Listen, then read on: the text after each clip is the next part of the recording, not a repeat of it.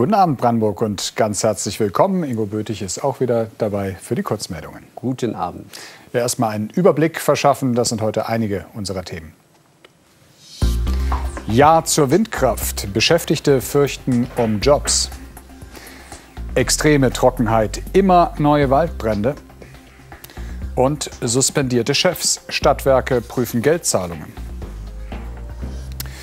Windkraftdemonstrationen gibt es immer mal wieder. Bisher aber waren es immer die Gegner, die auf die Straße gegangen sind. So gesehen muss das heute vielen vor dem Landtag wie eine verkehrte Welt vorgekommen sein. Dort standen auf einmal die Windkraftbefürworter mit ihren Plakaten, hauptsächlich Beschäftigte aus der Branche.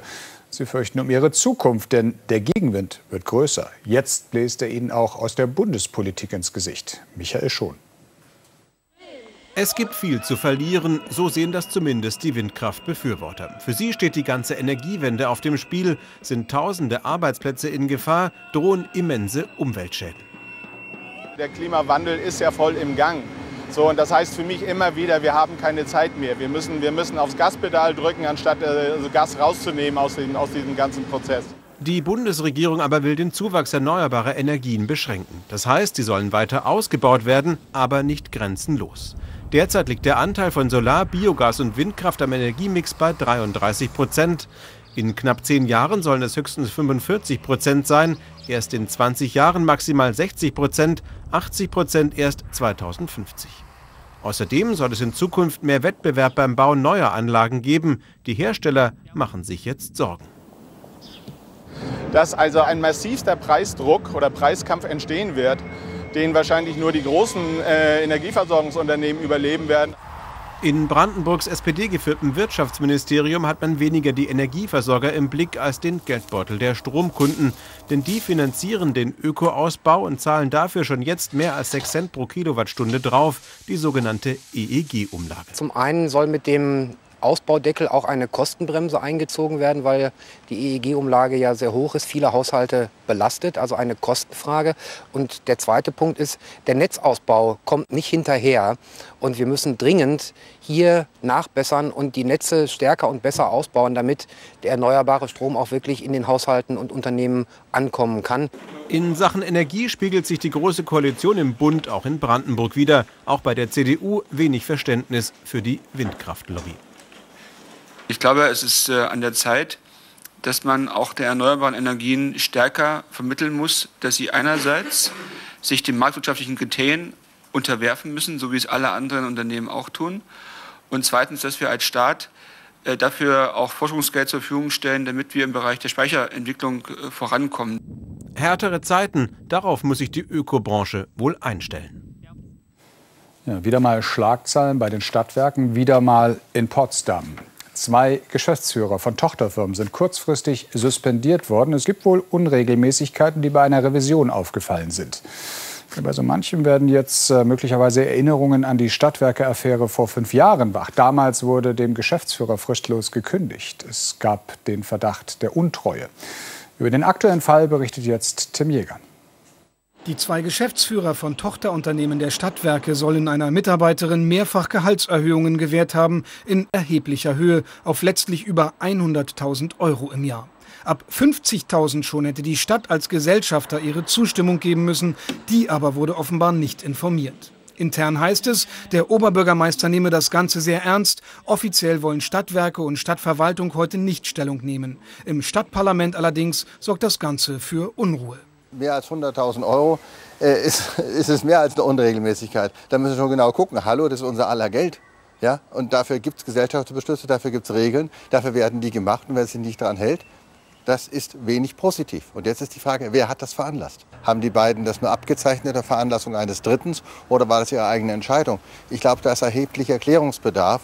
Das Ganze bekommt eine besondere Note, bedenkt man, dass es sich bei besagter Mitarbeiterin um eine enge Vertraute des ehemaligen Stadtwerkechefs Peter Paffhausen handeln soll. Paffhausen war vor fünf Jahren über sein eigenwilliges Finanzgebaren gestolpert. Und nun Sonderzahlungen und fortwährende Gehaltserhöhungen für die Mitarbeiterin? Das klingt nach Versorgung. Intern heißt es in Potsdams Rathaus, dass es hier wohl nicht nur um eine simple Unregelmäßigkeit, sondern womöglich um Untreue ginge. All dies bislang Verdacht, nicht offiziell bestätigt. Nach unruhigen Jahren funktioniert nun aber offenbar das interne Aufräumen bei den Stadtwerken. Der aktuelle Fall wurde von der eigenen Revision bemerkt, geprüft und hat nun zu Konsequenzen geführt. Dauereinsatz für die Feuerwehr. Zwischen Zossen und Barut brennen gleich zwei Waldstücke. Eines war zwischenzeitlich schon gelöscht, dann aber hat sich das Feuer erneut entzündet. Die Waldbrandgefahr im Land ist weiter extrem hoch. Auch bei Jüterbock ist die Situation nach wie vor brenzlig. Juliane Kerber berichtet. Als wir uns dem Brandherd nähern dürfen, züngeln noch kleine Flammen aus den Glutnestern. Windböen entfachen sie immer wieder neu. Der kräftige Ostwind ist heute die größte Sorge, dazu die Trockenheit, eine gefährliche Mischung. 15 Hektar Wald haben allein hier bei Jüterbock bis gestern Abend gebrannt. Die Feuerwehr konnte nur verhindern, dass sich das Feuer noch weiter ausbreitet. Löschen kann sie auf dem früheren Truppenübungsplatz Altes Lager nicht. Hier ist ein Brandschutzstreifen gezogen worden und beräumt. Und alles, was dahinter ist, da liegt Munition drin von ein paar Jahren, ein paar Jahrzehnten. Und da können wir nicht reingehen, weil das doch explodieren kann und alles und tut explodieren. Hat man ja gehört, dass es explodiert. Und dann können wir nicht tätig werden als Feuerwehr. Im gesamten Land Brandenburg kamen mit dem schönen Wetter auch die Waldbrände. Allein 20 Mal brannte es in Brandenburgs Wäldern in den vergangenen fünf sonnigen Tagen. Ein Schwerpunkt der Fleming. Fünf Brände seit dem Wochenende bei Zesch am See, Barut Mark und Altes Lager waren die Feuerwehren auch heute im Einsatz. Der alte Truppenübungsplatz bei Jüterbock soll Wildnis werden. Schadensbegutachtung nach dem durch alte Munition ausgelösten Brand. Es war bloß ein Bodenfeuer gewesen. Also die Bäume, die hier draufstehen, haben es größtenteils auch überstanden. Die haben es überlebt und ja, der Schaden ist dann nicht so groß. Erst einmal, denn die Lage bleibt brenzlig. Die Sonne lässt die Waldbrandgefahr weiter steigen. Fast wie im Hochsommer, morgen gilt hohe und höchste Warnstufe im gesamten Land. In Jüterbock kontrolliert die Feuerwehr weiter stündlich die Brandherde, immer entlang an der Brandschutzschneise. Ja, passen Sie also auf, wenn Sie dort in der Nähe unterwegs sind. Wir kommen zu den Meldungen des Tages, die mit einem tragischen Unglück beginnen. Ingo Bötig. In der Nähe von Karlau ist vorige Nacht ein junger Mann ums Leben gekommen bei einem Verkehrsunfall. Doch statt lebensrettende Maßnahmen einzuleiten, war die Fahrerin zunächst geflüchtet. Auf dieser Landstraße fand die Polizei das Unfallopfer. Daneben Lackspuren und Splitter eines Pkw. Der Tote war nackt. Dass der Mann unbekleidet war, war für uns auch erstmal ungewöhnlich. Wir haben dann in 100 Meter Entfernung seine Bekleidung im Wald gefunden. Und der starke Alkoholgeruch äh, lassen darauf schließen, dass er übergemäß diesen äh, konsumiert hatte, sich dann entkleidet hat und aus welchen Gründen auch immer die Straße da entlang gelaufen ist. Am Vormittag meldete sich eine 78-jährige Frau und gab an, den Unfall verursacht zu haben. Ihr Fahrzeug wurde sichergestellt, außerdem musste sie eine Blutprobe abgeben. Die Leiche des Opfers wird jetzt obduziert. Nach ersten Angaben soll es sich um einen 23-jährigen Mann handeln. In der Nähe von Fürstenwalde ist vergangene Nacht ein Sattelschlepper ausgebrannt. Auch die Ladung, zwei Zugmaschinen, wurde weitgehend zerstört. Die Feuerwehr war seit Mitternacht vor Ort und bekämpfte die Flammen mit Schaum. Das Feuer war offenbar während der Fahrt ausgebrochen. Als Grund wird ein technischer Defekt vermutet. Der Fahrer konnte sein Fahrzeug noch stoppen und sich in Sicherheit bringen. Während der Löscharbeiten war die Bundesstraße 168 über Stunden voll gesperrt. Die Steuern sprudeln auch in den kommenden Jahren. Das hat die neue Steuerschätzung ergeben. Finanzminister Görke hat die Zahlen für Brandenburg heute vorgestellt. Im Vergleich zur letzten Steuerschätzung im November erwartet das Land in diesem Jahr Mehreinnahmen in Höhe von 61 Millionen Euro.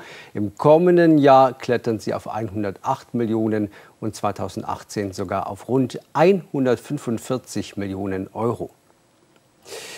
Nach der Dienstwagenaffäre des ehemaligen Justizministers Markov wird jetzt auch gezahlt. Die Kosten für die umstrittene Nutzung übernimmt sein Parteikollege von Die Linke, Finanzminister Görke. Das hat seine Sprecherin bestätigt. Demnach will Görke aus privater Tasche 435 Euro zahlen. Markov selbst hatte das abgelehnt, weil das seiner Meinung nach einem Schuldeingeständnis gleichgekommen wäre. Stattdessen hatte Markov 1000 Euro an eine gemeinnützige Stiftung gespendet. Wo werden neue Wohngebiete entstehen? Einkaufszentren, Windparks oder auch Tagebaue. Das alles beschreibt der neue Landesentwicklungsplan für die Region Brandenburg und Berlin. Die Landesregierung hat den Entwurf dazu heute in Potsdam verabschiedet. Ein Plan für die kommenden 15 Jahre mit dem Kern. Wachstum soll es vor allem von Berlin aus sternförmig entlang der Schienenwege geben.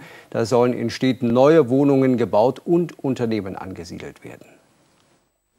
Hunderte Umweltschützer haben in Proschim bei Welzow ein sogenanntes Klimacamp aufgeschlagen. Damit demonstrieren sie gegen die Erweiterung des nahegelegenen Tagebaus Welzow Süd, dem der Ort Proschim weichen müsste. In verschiedenen Workshops geht es um das Thema Energie. Die Aktivisten wollen aber auch den zivilen Ungehorsam proben. Für das Wochenende ist eine Demo mit bis zu 2000 Kohlegegnern geplant. Das Bündnis Ende Gelände hat dazu aufgerufen. Sie wollen im Tagebau Welzow Süd Bagger blockieren und damit den Betrieb lahmlegen. Die Oder ist touristisch bisher nicht so richtig entdeckt worden. Klar, es kommen Besucher, aber es könnten eben auch durchaus mehr sein. Dafür aber müsste man den Gästen auch mehr bieten. Bootsrundfahrten zum Beispiel. Das war wohl auch ein Thema bei der Wassertouristikkonferenz heute in Eisenhüttenstadt. Ja, und dort in Eisenhüttenstadt ist bisher immer mal wieder ein Ausflugsboot unterwegs, aber eher sporadisch. Ein polnisches Projekt, das auf der deutschen Oderseite gerne öfter anlegen könnte. Fred Pilarski. Leinenlos, die Winterpause ist vorbei. Seit einigen Tagen fährt die C4 wieder über die Oder.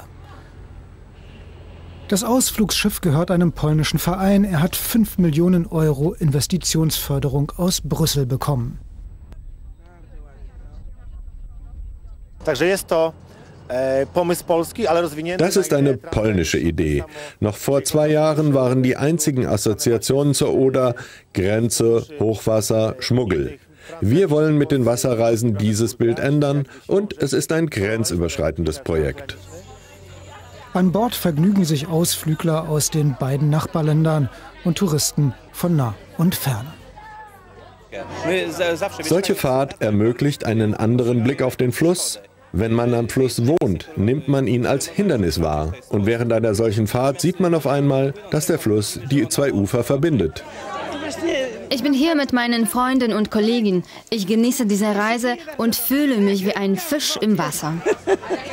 Man trifft immer Leute auf beiden Seiten, sei es auf polnischer oder auf deutscher Seite, mit denen man sich auch mal unterhalten kann.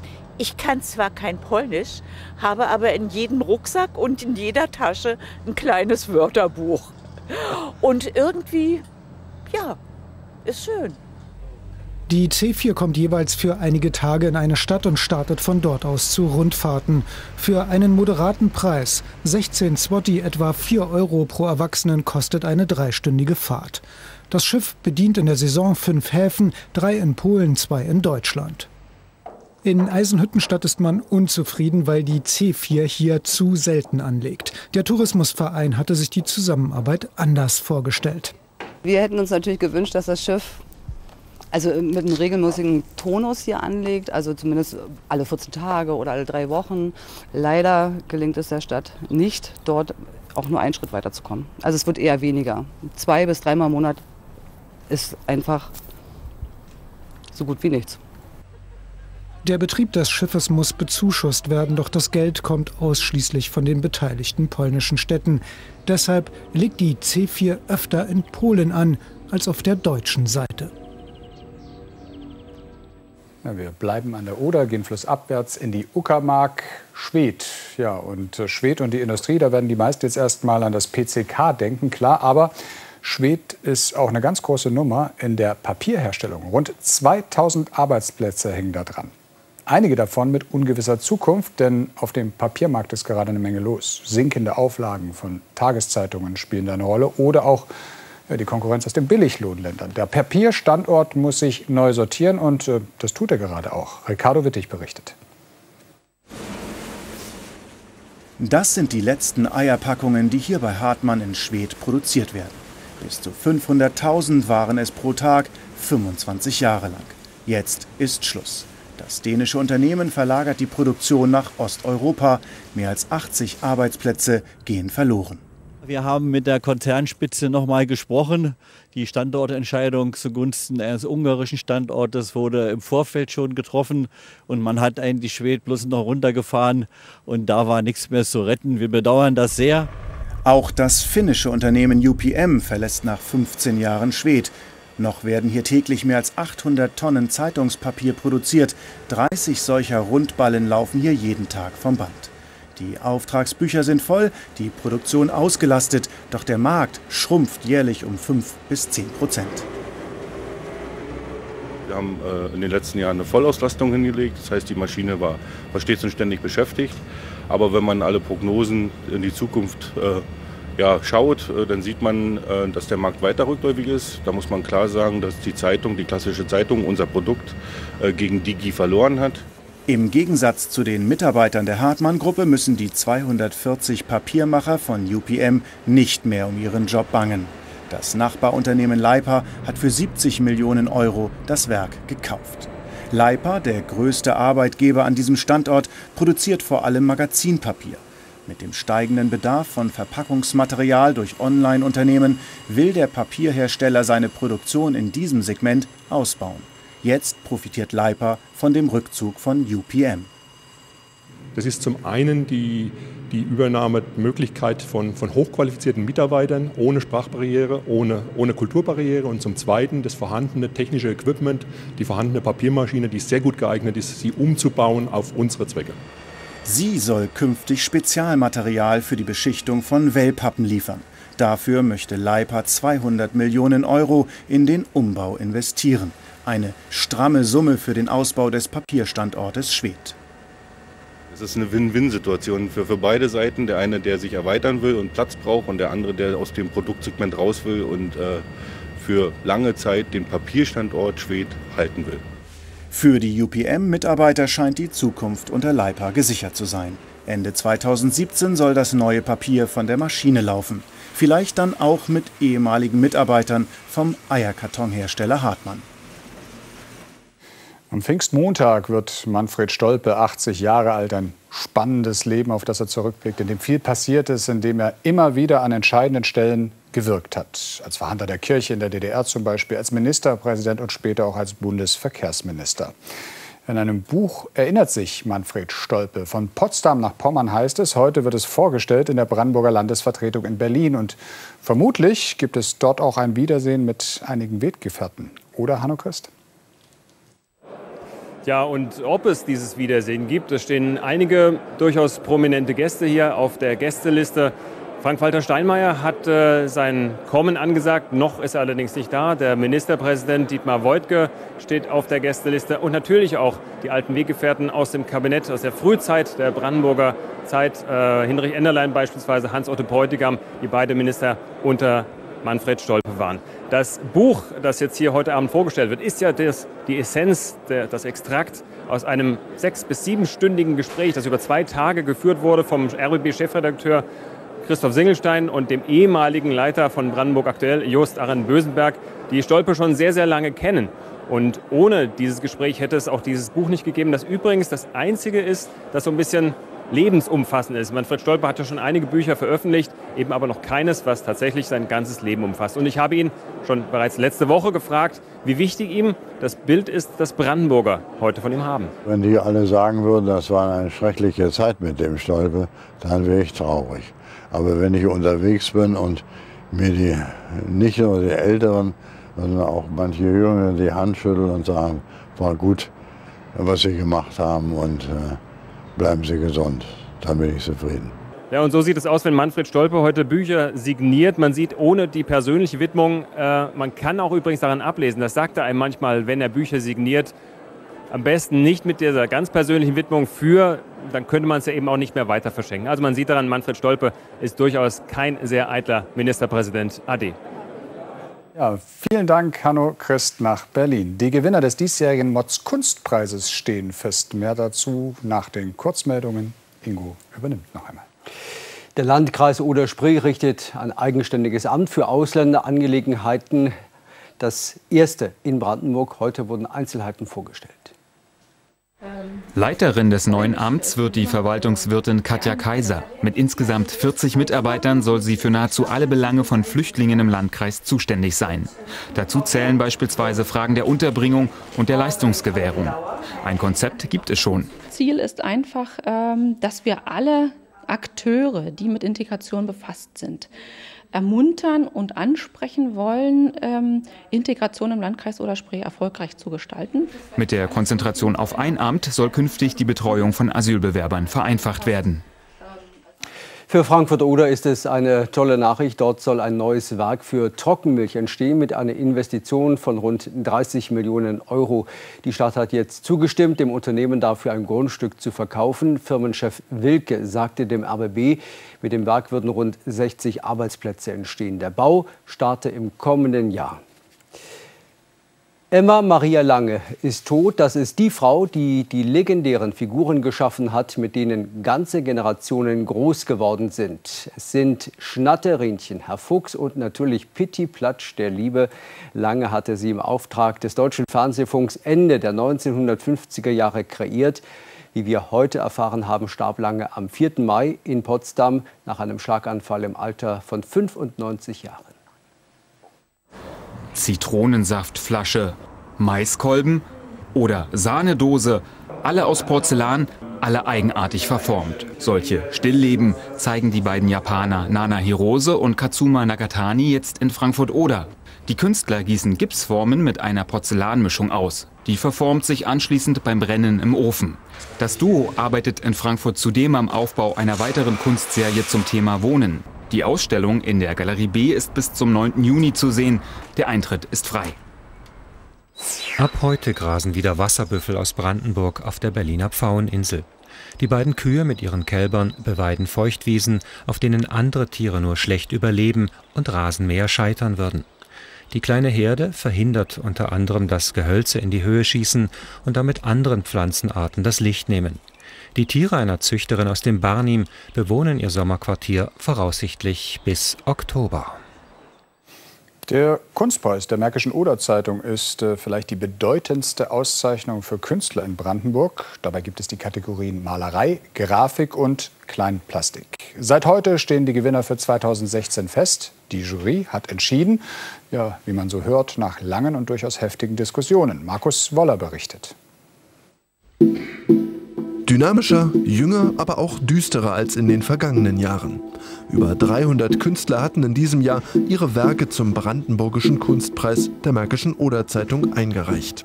Rekord für den Wettbewerb, der seit Jahren von Brandenburg aktuell begleitet wird. In der Endrunde in der Eberswalder Märchenvilla standen heute nun 65 Werke. Für die Jury eine besonders knifflige Aufgabe. Man kann wirklich sagen, es wird von Jahr zu Jahr schwieriger. Unser Ziel ist es ja nicht, dass wir sagen, wir wollen möglichst viel haben, sondern wir möchten die, zum einen die Bandbreite haben und zum anderen merken wir anhand der Einreichungen, wie dieser Preis inzwischen angenommen wird, also von der Prignitz bis in den Spreewald. Mehrere Stunden lang sichteten die Juroren heute die Werke. Drei Künstler überzeugten sie am Ende mehrheitlich. Bedrohung, Überfahrt heißt das Bild von Annette Gundermann aus Berlin, Siegerin in der Kategorie Malerei. Mit seiner Aquatinta Endstation gewinnt Peter Panzner aus Niedergörsdorf die Kategorie Grafik.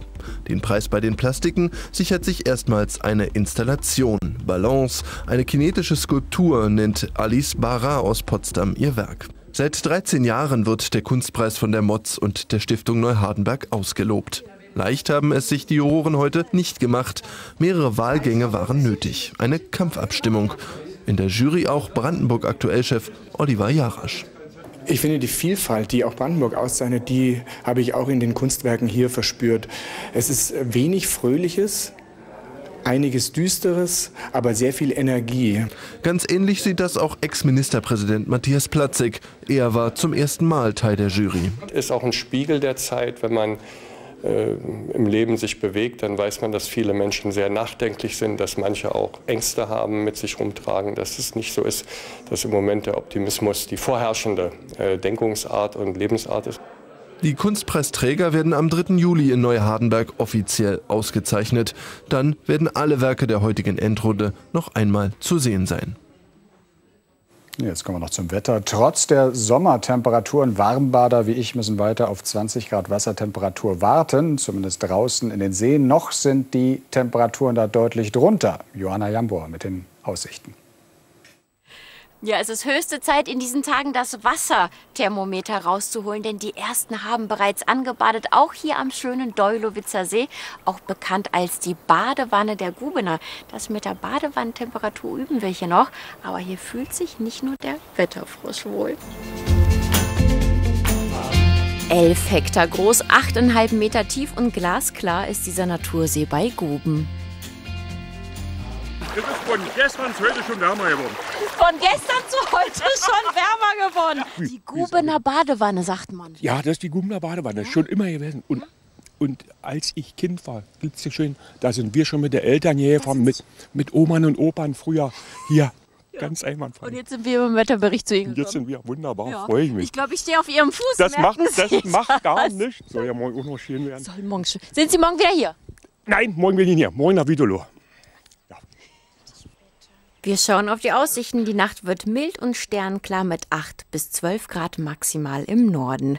Morgen wieder erhöhte Waldbrandgefahr bei sonnigen 24 bis 27 Grad in der Prignitz. Dauercamperin Christel Schramm ist seit 33 Jahren am See.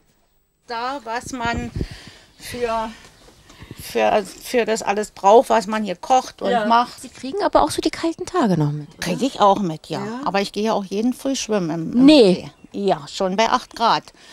Jetzt war ich schon anbaden. Und? Ja, gut. Ja? Ja, ich Ja. bin da kein Angsthase. Was gab es schon mal für Krisensituationen? Hatte ich im vorigen Jahr äh, so einen kleinen Hurrikan hier, so einen Sturm. Der hat hier unten am Wasser die ganzen Bäume, neun Bäume in der Nacht umgehauen. Und man darf ja sagen, nach 33 Jahren nennt man sie wie hier? Campmutti. Campmutti. Ich helfe aus mit Getränken, mit, mit Essen, wenn die Radcamper kommen und nichts mit haben.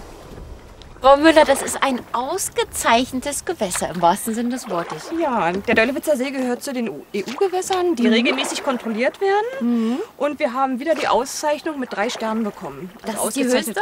Ist die höchste. Heißt Qualität. besonders klar, oder? Besonders klares Wasser. Was sagen Sie denn? Wie warm wird es denn sein? Ich würde schätzen 15 Grad. Noch 15 Grad. Hey, super. Also? Jetzt die Aussichten, das geht. Das Badewetter ändert sich aber noch 27 Grad am Donnerstag, ab Freitag Regen und Gewitter 17 Grad am Samstag.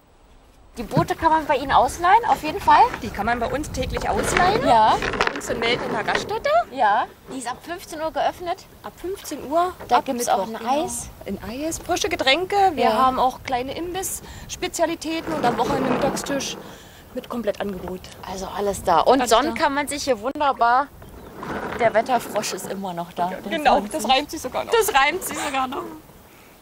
Ja, vielen Dank also an beide Wetterfrösche, also den im Wasser und äh, den am Mikrofon. Joana natürlich. Der See war übrigens eine ausdrückliche Empfehlung eines Zuschauers und schon sind wir hingefahren. Ja, für unser Zuschauerfoto geht's heute ans Land zurück nach Großräschen. Ingrid Paulik schickt uns ja diese wunderschöne Aufnahme eines Rapsfeldes Brandenburg blüht auf. Vielen Dank dafür. Das war's von uns für heute. Hier folgt wie immer die Tagesschau und danach nehmen wir Sie hier im RBB Fernsehen mit an Drehorte von legendären und auch weniger bekannten DEFA-Filmen. Klingt spannend. Die nächsten Nachrichten dann um 21.45 Uhr in RBB aktuell. Ihnen allen einen entspannten Abend. Bis morgen. Tschüss. Bis morgen. Tschüss.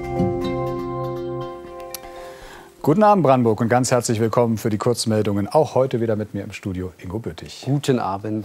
Ja, alles Wichtige vom Tag. Bei uns erfahren Sie es. Das sind heute einige unserer Themen. Gesetz zur Leiharbeit, mehr Gerechtigkeit oder doch Mogelpackung? WLAN für alle, neue Regelung für Hotspots im ganzen Land. Und Enteignung, Bauern sollen für Villen weichen. Zwei Arbeiter, dieselbe Firma, die gleiche Tätigkeit von außen, kein Unterschied erkennbar. Und doch trennen sie zuweilen Welten. Der eine ist fest beim Unternehmen angestellt, der andere Leiharbeiter. Eine Konstellation, die gerade bei uns in Brandenburg häufig vorkommt. Für die Leiharbeiter bedeutete das bisher weniger Rechte und meistens auch weniger Geld. Das soll sich ändern. Die Bundesregierung hat sich jetzt auf einen Gesetzentwurf verständigt. Arbeitsministerin Nahles spricht sogar vom großen Wurf. Doch ist es tatsächlich einer? Jana Wochnik.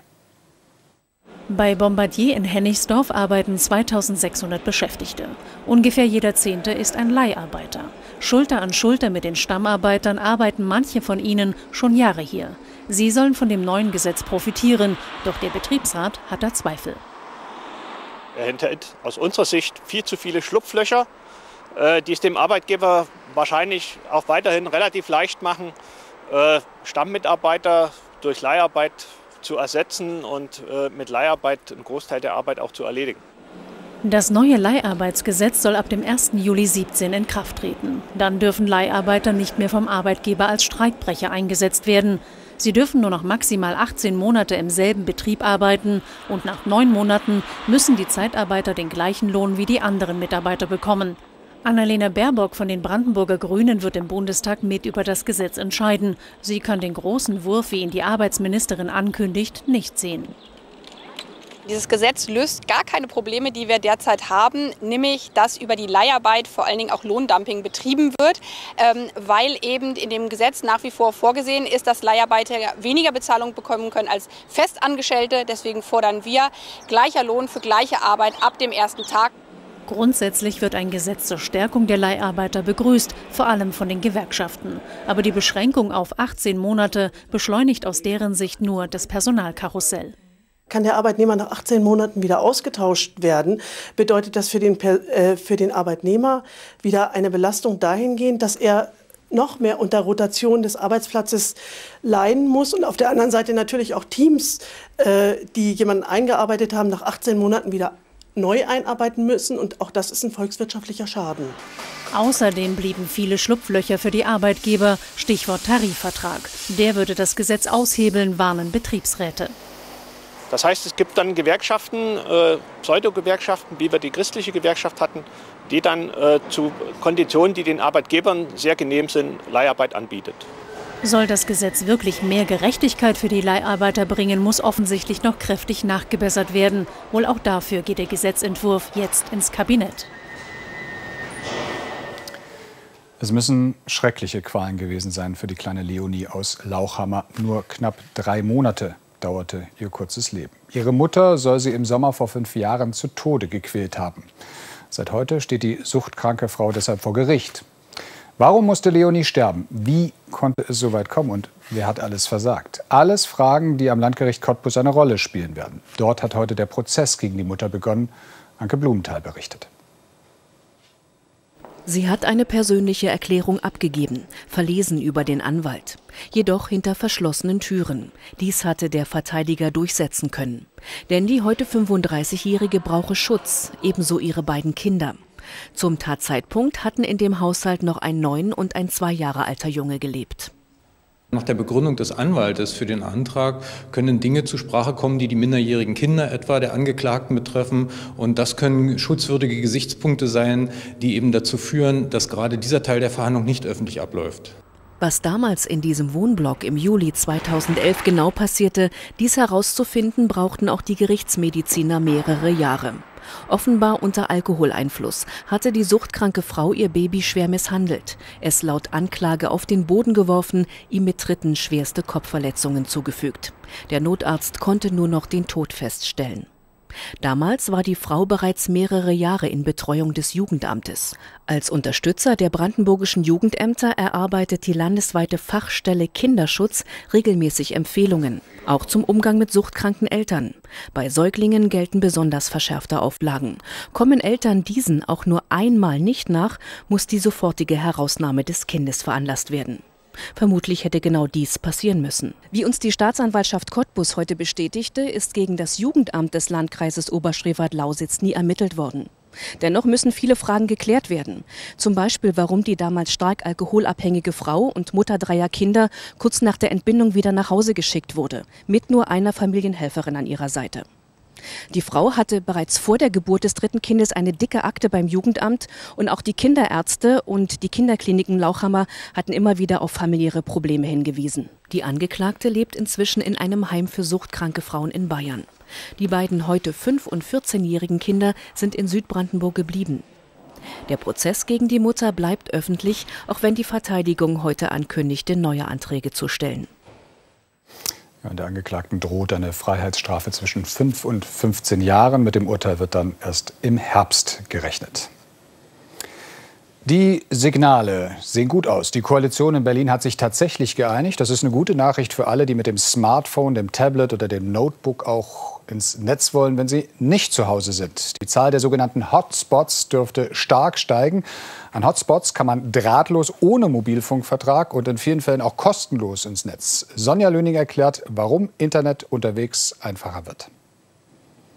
Entspannt im Café im Netz surfen, das wird in Zukunft noch einfacher. Denn in Brandenburg könnte es bald mehr offene WLAN-Hotspots geben, in Cafés, auf der Straße, überhaupt in der Öffentlichkeit. Der Grund, die Bundesregierung schafft eine umstrittene Regelung ab, die sogenannte Störerhaftung. Bislang bedeutet das, wenn ein Besucher in einem Café WLAN nutzt und dort beispielsweise illegal Filme runterlädt, haftet dafür der Cafébetreiber.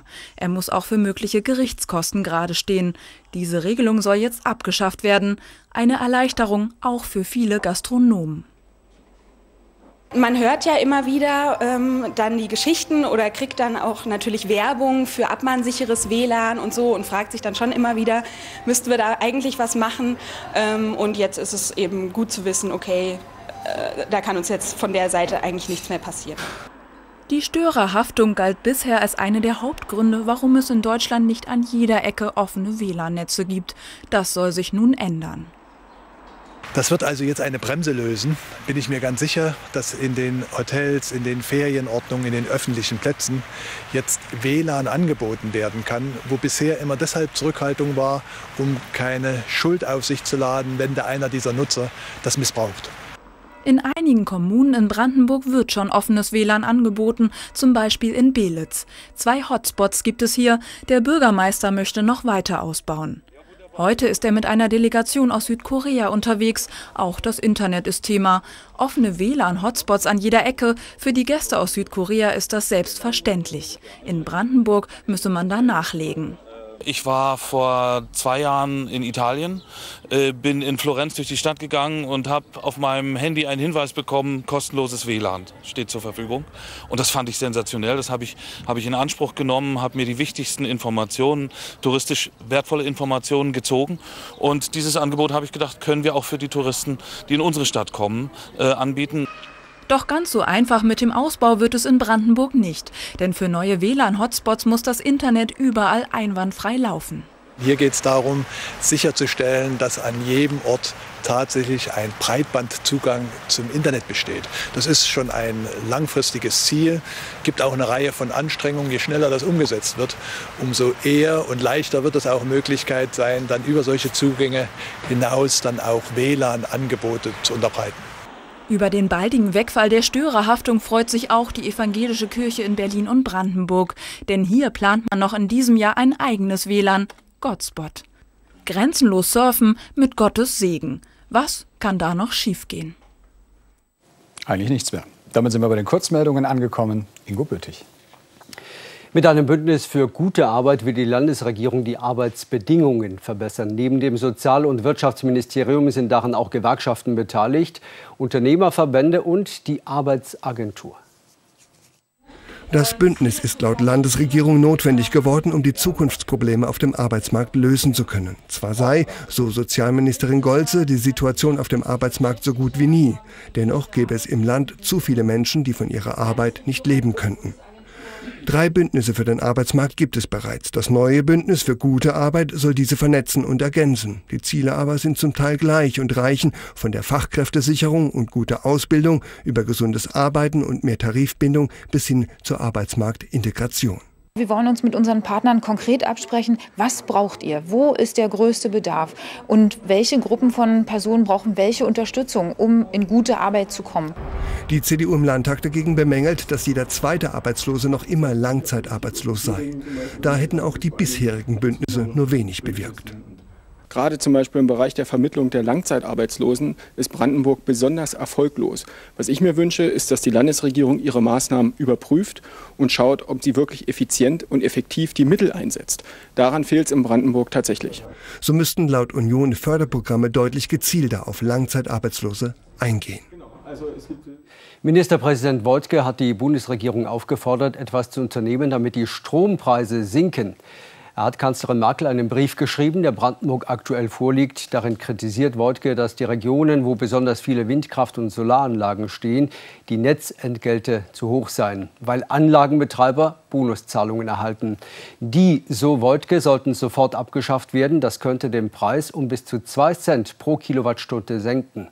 Die Länderchefs beraten morgen mit der Kanzlerin über die Energiewende. Welche Auswirkungen hat die Digitalisierung in der Arbeitswelt? Mit dieser Frage befassen sich heute und morgen Fachleute auf einer Konferenz am Potsdamer Hasso-Plattner-Institut. Mit der zunehmenden Digitalisierung aller Lebensbereiche einschließlich der Arbeitsprozesse verschärft sich die Angst, dass viele Jobs der Automatisierung zum Opfer fallen. Und Kritiker sehen darin auch die Ursache für die Zunahme von Jobs mit Niedriglöhnen. In Workshops erarbeiten die Experten Konzepte, wie mit Hilfe der Digitalisierung die Arbeitsbedingungen verbessert werden können. Ein Großbrand auf dem Gelände eines Asiamarktes in Berlin-Lichtenberg ist unter Kontrolle. Ein Sprecher der Feuerwehr sagte am Abend, die Löscharbeiten würden noch voraussichtlich mehrere Stunden dauern. Am späten Vormittag war diese Lagerhalle, die an den Markt angrenzt, in Brand geraten. Dort wurden unter anderem Chemikalien gelagert, einige hochentzündlich. Erste Messungen der Dämpfe ergaben, dass für die Anwohner keine gesundheitliche Gefahr bestand. Rund 150 Feuerwehrleute waren im Einsatz. Sie lassen das Gebäude jetzt kontrolliert abbrennen. Nach ersten Erkenntnissen könnten möglicherweise Schweißarbeiten das Feuer ausgelöst haben. Verletzt wurde niemand. Den Blitzermarathon der Polizei, von dem haben Sie bestimmt schon mal gehört. Vielleicht gab es ja auch schon mal Post, die Sie so gerne nicht bekommen hätten. 24 Stunden wird der Jagd auf Raser gemacht und geblitzt, was das Zeug hält. Ja, und im Prinzip die gleiche Geschichte gibt es jetzt auch auf dem Wasser. Schwerpunktkontrollen der Wasserschutzpolizei im Visier, dort auch die Raser, aber auch die Alkoholsünder. Michel Nowak hat heute eine Streife auf dem Oder-Havel-Kanal begleitet. Und fahren wir Richtung Niederfino. Muss acht alleine? Das Boot der Hohensaatener Wasserschutzpolizei ist jetzt praktisch im Dauerbetrieb. Zwölf Stunden Schichten schiebt die Besatzung auf Kontrollfahrten über Ostbrandenburgs Gewässer.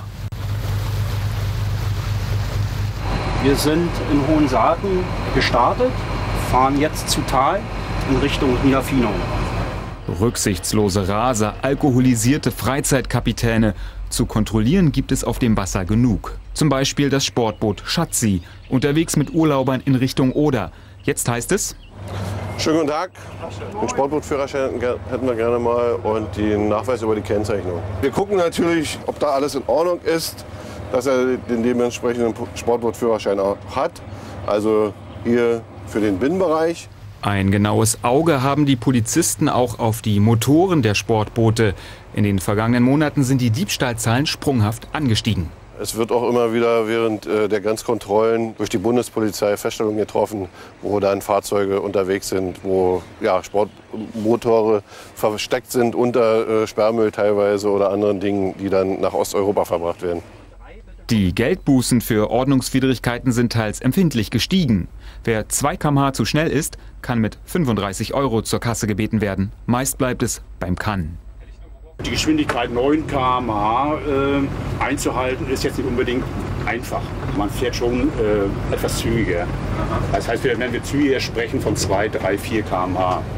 Und da sind Sie dann auch milde? Mitunter, wie einzig die Sportbootführer sind. Und dann sind da die großen Binnenschiffe wie die polnische Cherubin. Nur ein paar Fehler bei Bordbucheinträgen stellen die Polizisten fest, mehr nicht. Aber ihre Schicht geht weiter. Die Kontrollen werden noch intensiver durchgeführt als sonst bis einschließlich Pfingstmontag. Und äh, wir wollen dadurch erreichen, dass sich diejenigen, die sich auf dem Wasser bewegen, sowohl Sportschifffahrt als auch Berufsschifffahrt, an die gesetzlichen Regelungen halten. Bedeutet auch, bis zum Pfingstmontag bleibt das Hohensaatener Wasserschutzboot im Dauereinsatz. Ja, jetzt zu einer Geschichte, die erinnert so ein bisschen an David gegen Goliath. Auf der einen Seite die große Landeshauptstadt Potsdam mit ihrem Hunger nach Bauland für die ständige wachsende Einwohnerzahl. Auf der anderen Seite ein kleiner Familienbetrieb, der seine Äcker hergeben soll. Ganz nebenbei für einen Minipreis. Ja, die Familie, die stellt sich jetzt quer. Ihr Land sei nicht zu verkaufen. Jetzt droht die Enteignung. Gabi Probst. Das ist Ernst Ruden, 78 Jahre von Beruf Bauer. Das ist Ernst Ruden, 46 Jahre von Beruf Bauer. Und auch er ist Ernst Ruden, 25 Jahre und auch von Beruf Bauer. Ihren Bauernhof bei Potsdam gibt es schon in vierter Generation mit einem Bauernmarkt, einem Ferienhof, Ackerflächen und artgerechter Tierhaltung. Ernst II. hat den Bauernhof kürzlich vom Ernst I. übernommen und Ernst III. wird diesen dann von Ernst II. übernehmen. So ist es geplant. Doch nun verfolgen sie Existenzängste. Die Stadt Potsdam will ihnen ihre Ackerflächen nehmen. Die Bauern sollen enteignet werden. Ich habe das von meinem Vater, das ist das alte Bauernhaus, von meinem Vater geerbt. Äh, der Sohn erbt es. Das kann ich nicht verstehen. Dass man so den Landwirt an der Ecke stellt. Ein Landwirt plant in Generationen. Nicht? Und da hängt auch die Altersversorgung für uns mit dran, für meine Frau und für mich. Und darum geht es. Die Stadt Potsdam will das ehemalige Militärgelände der Krampnitz-Kaserne für den Wohnungsbau entwickeln. 118 Hektar. Doch dafür braucht sie Geld, Millionen, das sie so nicht hat. Deshalb will die Stadt nun die Ackerflächen nebenan bebauen und auch die der Nachbarn. Zum Beispiel die des Besitzers der Baumschule, Jürgen Kania. 63 Jahre alt. Die Baumschule ist sein Lebenswerk. Oder von Lars Kutzer, 40 Jahre Gärtner. Auch er hat den Betrieb seines Vaters übernommen. Und von Helmut Tschukupanski, fast 90 Jahre alt. Das Land ernährt die Familie seit Jahrzehnten. Dass aus ihrem Ackerland nun Bauland werden soll, davon erfuhren alle erst aus der Zeitung. Für sie skandalös. Jetzt klagen sie gemeinsam vor dem Oberverwaltungsgericht gegen die Pläne der Stadt. Insgesamt besitzen sie 11,4 Hektar. Die Stadt will schicke Villen für Besserverdienende dort bauen. Es ginge um die Gesamtentwicklung des Standortes, sagt die Stadt. Die Bauern sagen aber, es geht eigentlich nur ums Geld, wenn man es genau betrachtet. Äh, und äh, dass man mit der schnellen Erschließung dieser Flächen das Gesamtprojekt finanzieren kann. Für die Bauern ist klar, dass man sie mit billigem Geld abspeisen will, um dann später das Land teuer zu verkaufen. Uns will man 39 Cent geben und Sie möchten das für 214 bis 230 schöne Aussicht wieder weiter veräußern. So viel ist Bauland dort heute wert. Die Stadt will dagegen nur den Verkehrswert für Ackerland bezahlen, den sogenannten Anfangswert. Die Bauern errechneten einen Gewinn von rund 6,8 Millionen Euro für die Stadt aus. Also mich regt richtig auf, dass wir hier eine Fläche von 120 Hektar haben, die völlig ausreichend wäre für sozialen Wohnungsbau, wo man sagt, da ist wirklich genug Platz. Und äh, auf der anderen Seite haben wir eben eine kleine Fläche, wo unsere Existenzen auf dem, auf dem Spiel stehen, nur für Willen und für besser verdienende Menschen. Und dafür das alles aufzugeben, leuchtet uns eigentlich allen nicht ein. Lukrativ sind die Flächen der Bauern, weil der sogenannte Aasberg in der Mitte den Blick auf zwei Seen ermöglicht. Die Stadt bestätigt uns sogar die Vermutung der Bauern, es werden, Zitat, alle infrastrukturellen Maßnahmen durch die Wertsteigerung der Grundstücke finanziert. Nach dem Gesetz darf die Stadt die Bauern enteignen, wenn das Gemeinwohl die städtebauliche Maßnahme erfordert. Doch die Rechtsprechung sagt auch, dass die Finanzierung durch die Bodenwertsteigerung nicht der alleinige Grund für die Enteignung sein darf. Ob die Voraussetzungen dafür vorliegen, wird das Gericht demnächst klären. Die Abgeordnete Ludwig ärgert, dass die Bauern unter Druck gesetzt werden, denn die Äcker liegen im Landschaftsschutzgebiet. Und ob das überhaupt umgewandelt werden darf, ist nicht klar. Ich sehe hier wirklich einen Machtmissbrauch gegenüber dem einzelnen Bürger. Ob das so ist und ob Ernst III. den Bauernhof weiterführen kann, hängt wohl nun von der Gerichtsentscheidung ab. Ja, und Ersatzflächen hat die Stadt bisher übrigens nicht angeboten. Das käme für die Bauern wohl auch nicht in Frage, weil ihnen dann die Infrastruktur fehlt. Jetzt noch einmal Kurzmeldungen. Ingo übernimmt wieder. Dreieinhalb Jahre nach dem spektakulären Diebstahl von drei Leichenwagen in Hoppegarten ist der Haupttäter jetzt rechtskräftig verurteilt worden. Der Mann war wegen einer Haftstrafe von fünfeinhalb Jahren in Berufung gegangen. Die aber wurde jetzt vom Berufungsgericht im westpolnischen Posen bestätigt. Im Oktober 2012 hatten vier Männer aus Polen in Hoppegarten drei Transporter gestohlen. Diese gehörten einem Bestatter und hatten zwölf Särge mit Leichen geladen. Erst als die Täter die Fahrzeuge in Polen öffneten, stellten sie fest, was sie da gestohlen hatten.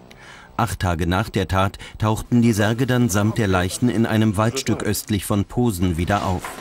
Während die vier Diebe schnell gefasst werden konnten, wurde der Haupttäter erst 2014 in Schweden verhaftet.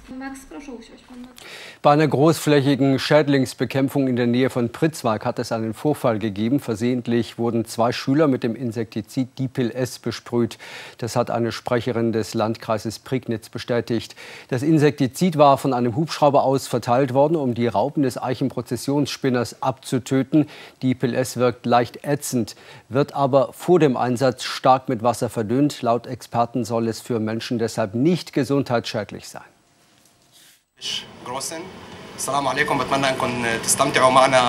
Was heißt Ja auf Arabisch oder Bitte auf Serbisch? Der kleine Sprachkurs am Kuchenbuffet war nur eine Art, sich beim Stadtpicknick in Forst näher zu kommen. Etwa 300 Gäste, darunter auch aus Afghanistan, Iran und Syrien, trafen sich an der Forster Stadtkirche. Das interkulturelle Picknick fand zum zweiten Mal statt, diesmal mit deutschen Speisen organisiert von Vereinen der Stadtkirchgemeinde und dem Flüchtlingsnetzwerk. Die Intendantin des RBB Dagmar Reim wird für ihr Lebenswerk ausgezeichnet mit der Hedwig Dom-Urkunde des Journalistinnenbundes. Zur Begründung heißt es, Reim habe als erste Frau an der Spitze eines öffentlich-rechtlichen Senders gestanden und sich in dieser Funktion für mehr Frauen in Führungspositionen eingesetzt. Die Urkunde wird am 4. Juni bei der Tagung des Journalistinnenbundes überreicht. Sabine Kunst hat ihr Amt als neue Präsidentin der Berliner Humboldt-Universität angetreten. Die frühere brandenburgische Wissenschaftsministerin wird Nachfolgerin von Jan-Hendrik Olberts. Kunst möchte besonders die Betreuung der mehr als 30.000 Studenten an der Uni verbessern und mehr Dozentenstellen schaffen.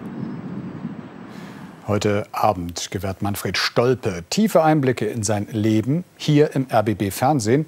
Ein Zeitzeugendokument in 60 Minuten. Am Montag wird der ehemalige Ministerpräsident 80 Jahre alt. Ja, und so ein ausführliches Gespräch mit Stolpe gab es bisher noch nicht. Und dabei überrascht Stolpe auch mit so manchem Satz. Hier schon mal vorab einige Eindrücke von Hanno Christ. Also was mich damals erschüttert hat und mich auch heute noch äh, betrifft, unruhig macht, ist ähm, das Unvermögen von Leuten, die in einem anderen System groß geworden sind, zu begreifen, wie funktionierte eigentlich diese DDR. Der Förster, das, das hätte ich gerne gemacht. Ja, nicht erkennen lassen, dass man krank ist. Ich hatte ein bisschen Sorge, ähm, dass sie mir das nie verzeihen würde. Ist das schlimm, wenn ich das so sage? Manfred Stolpe ganz persönlich im Gespräch daheim mit dem RBB über Krieg, Macht und Versuchung, Streit und Versöhnung und seine frühe Vision von Brandenburg. Man muss über Brandenburg reden. Das ist ein jahrhundertealtes, ein mindestens 800 Jahre altes Land. Und äh, da können wir stolz drauf sein. Ich wollte damit nicht die Bezirke abschaffen. Ich wollte nicht die DDR abschaffen in dem Moment. Ich wollte äh, dass dieses Erbe, das Erbe, auf das man stolz sein kann, nicht verloren geht, nicht vergessen wird. Es ist das bislang umfassendste Fernsehgespräch über sein Leben, eine Zeitreise, die bewusst nur Stolpe vor der Kamera zeigt. So entsteht eine Nahaufnahme, angereichert mit Bildern aus Stolpes Privatarchiv, von einem Politikerleben, das der Krebs entscheidend verändert hat. Die Korrespondenz, die ich führe, ist überwiegend eine beratende, ich sage ganz behutsam tröstende im Blick auf Gesundheit.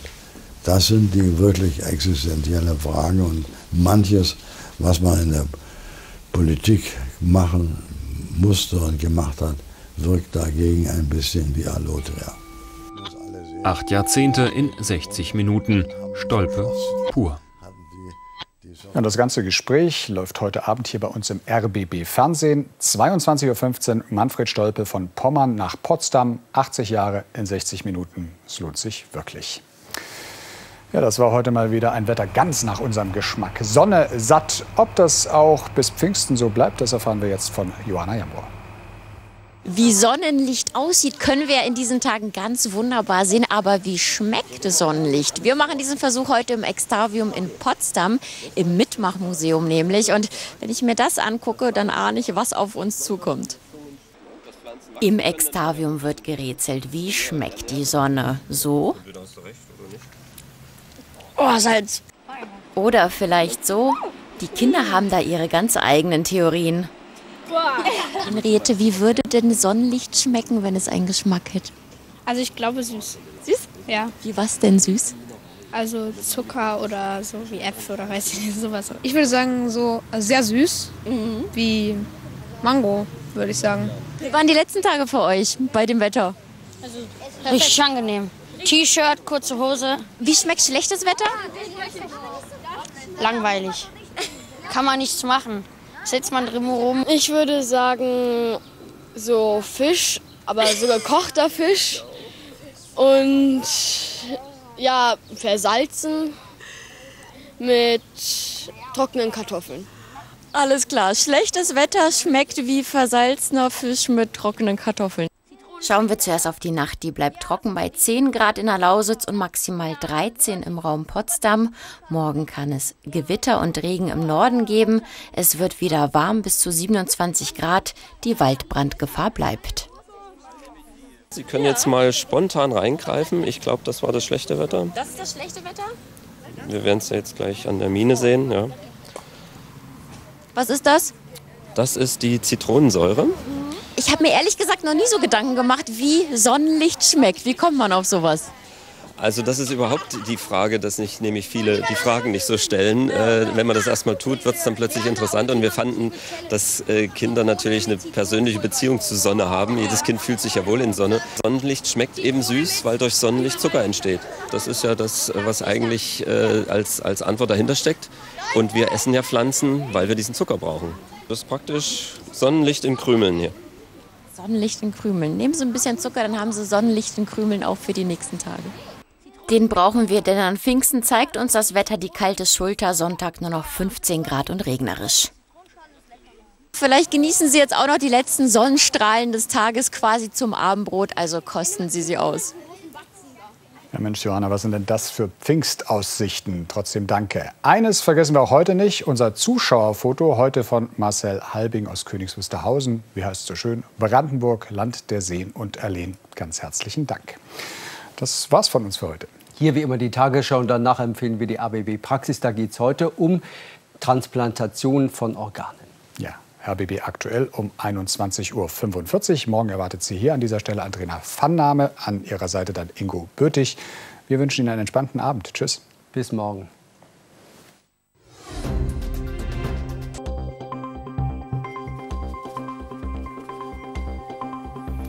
Rund 200 Bundespolizisten durchsuchten Flüchtlingsunterkünfte in Löbau, Chemnitz, Dresden und Leipzig und nahmen sieben Männer fest. Schlag gegen Kriminalität. Polizei hebelt Diebesbande aus. Aus für Spaßbad. Oschatzer Platsch wird zurückgebaut mit Folgen für die Arbeitsplätze. Und Traum aus Eis. Als Schnelllauflegende Andrea Erich auf dem Baikalsee in Sibirien. Der MDR Sachsenspiegel. Heute mit Tino Böttcher. Schönen guten Abend, liebe Zuschauer.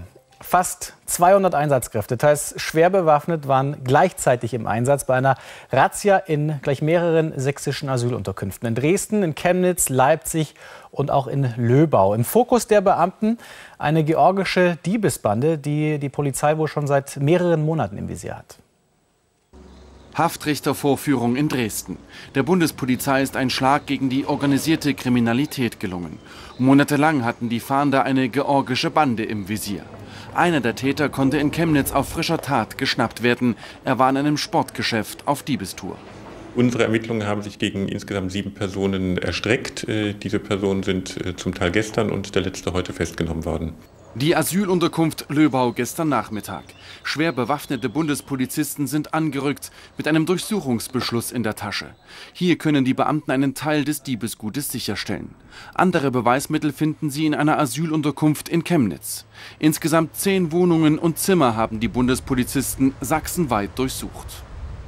Allerdings kann man nicht sagen, dass es ein Objekt gab, was als großes Lager agiert hat, sondern auf alle Objekte sind entsprechende die Diebeswaren verteilt gewesen. Die Asylbewerber im Alter zwischen 29 und 49 Jahren hatten es vor allem auf Drogeriemärkte abgesehen. 15 Anzeigen konnten der organisierten Bande inzwischen zugeordnet werden. Die verdeckten Ermittlungen begannen im September vergangenen Jahres im Dresdner Hauptbahnhof. Weil hier Kindernahrung im großen Stil geklaut wurde, hatte die Bundespolizei die Soko China gegründet. Die Hintergründe, warum diese georgische Bande die Diebstähle begeht, sind gegenwärtig äh, Gegenstand der Ermittlungen. Zum einen gehen wir davon aus, dass sie möglicherweise ihren Drogenkonsum damit finanziert haben. Darüber hinaus kann es aber natürlich sein, dass äh, weitergreifende Strukturen hinter dieser Bande stecken. Auf ein größeres Netzwerk deuten vier georgische Pässe hin, die bei der Razzia gefunden wurden. Diese konnten bisher noch keinen Personen zugeordnet werden. Seit Jahren schon versuchen Ermittler und Gerichte, die Taten des äh, NSU aufzuklären. Ja, warum zum Beispiel konnte das Trio Mundlos Böhnhardt Schäpe so lange unbehelligt im Untergrund leben und äh, wer hat die drei unterstützt? Ähm, viele Fragen sind da noch immer unbeantwortet, auch weil offenbar mehrere Ermittlungsakten geschreddert und Daten gelöscht wurden. Und jetzt gibt es wieder so einen Fall. Der NSU-Untersuchungsausschuss in Berlin wollte Akten der Staatsanwaltschaft Chemnitz einsehen, doch diese Akten gibt es nicht mehr. In diesem Haus in der Chemnitzer Innenstadt war früher die Staatsanwaltschaft untergebracht. Die Behörde zog 2008 an einen neuen Standort um, das Archiv im Keller aber blieb. Beim Hochwasser 2010 wurde dieser Keller überflutet. 1,20 Meter hoch stand das Wasser in den Archivräumen und richtete gravierende Schäden an, so die Staatsanwaltschaft. Also es befanden sich eine Vielzahl von Akten in der Annaberger Straße und man konnte, als das Hochwasser kam, die Akten nicht mehr einzeln aussortieren oder retten und äh, die Räume auch erst wieder betreten, als das Hochwasser dann abgeflossen war. Mit dabei war offenbar auch eine Akte, für die sich der NSU-Untersuchungsausschuss in Berlin interessiert. Eine Akte über den Neonazi und ehemaligen Verfassungsschutz-V-Mann Primus alias Ralf Marschner.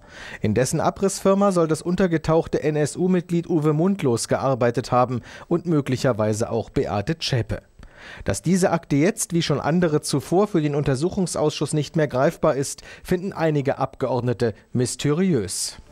Das wirft natürlich für uns verschiedene Fragen auf. Wir möchten zum einen wissen, können die Akten denn überhaupt noch rekonstruiert werden? Weil wir sind natürlich an den Inhalten dieser Akte oder dieser Akten ähm, interessiert. Und ähm, ja, und es ist natürlich die Frage, ähm, sind die Akten tatsächlich auf diese Art und Weise vernichtet worden? Ist da vielleicht noch mehr zu befürchten? Am Donnerstag befragt der NSU-Untersuchungsausschuss Zeugen aus Sachsen. Dann dürfte auch die Aktenproblematik noch einmal zur Sprache kommen.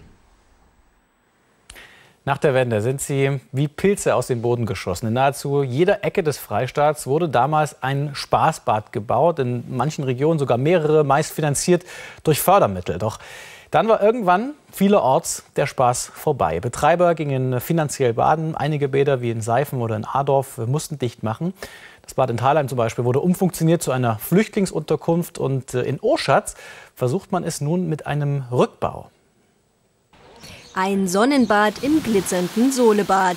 Die Besucher genießen dieses Wellnesserlebnis in vollen Zügen. Doch ab September wird hier nicht mehr geplanscht.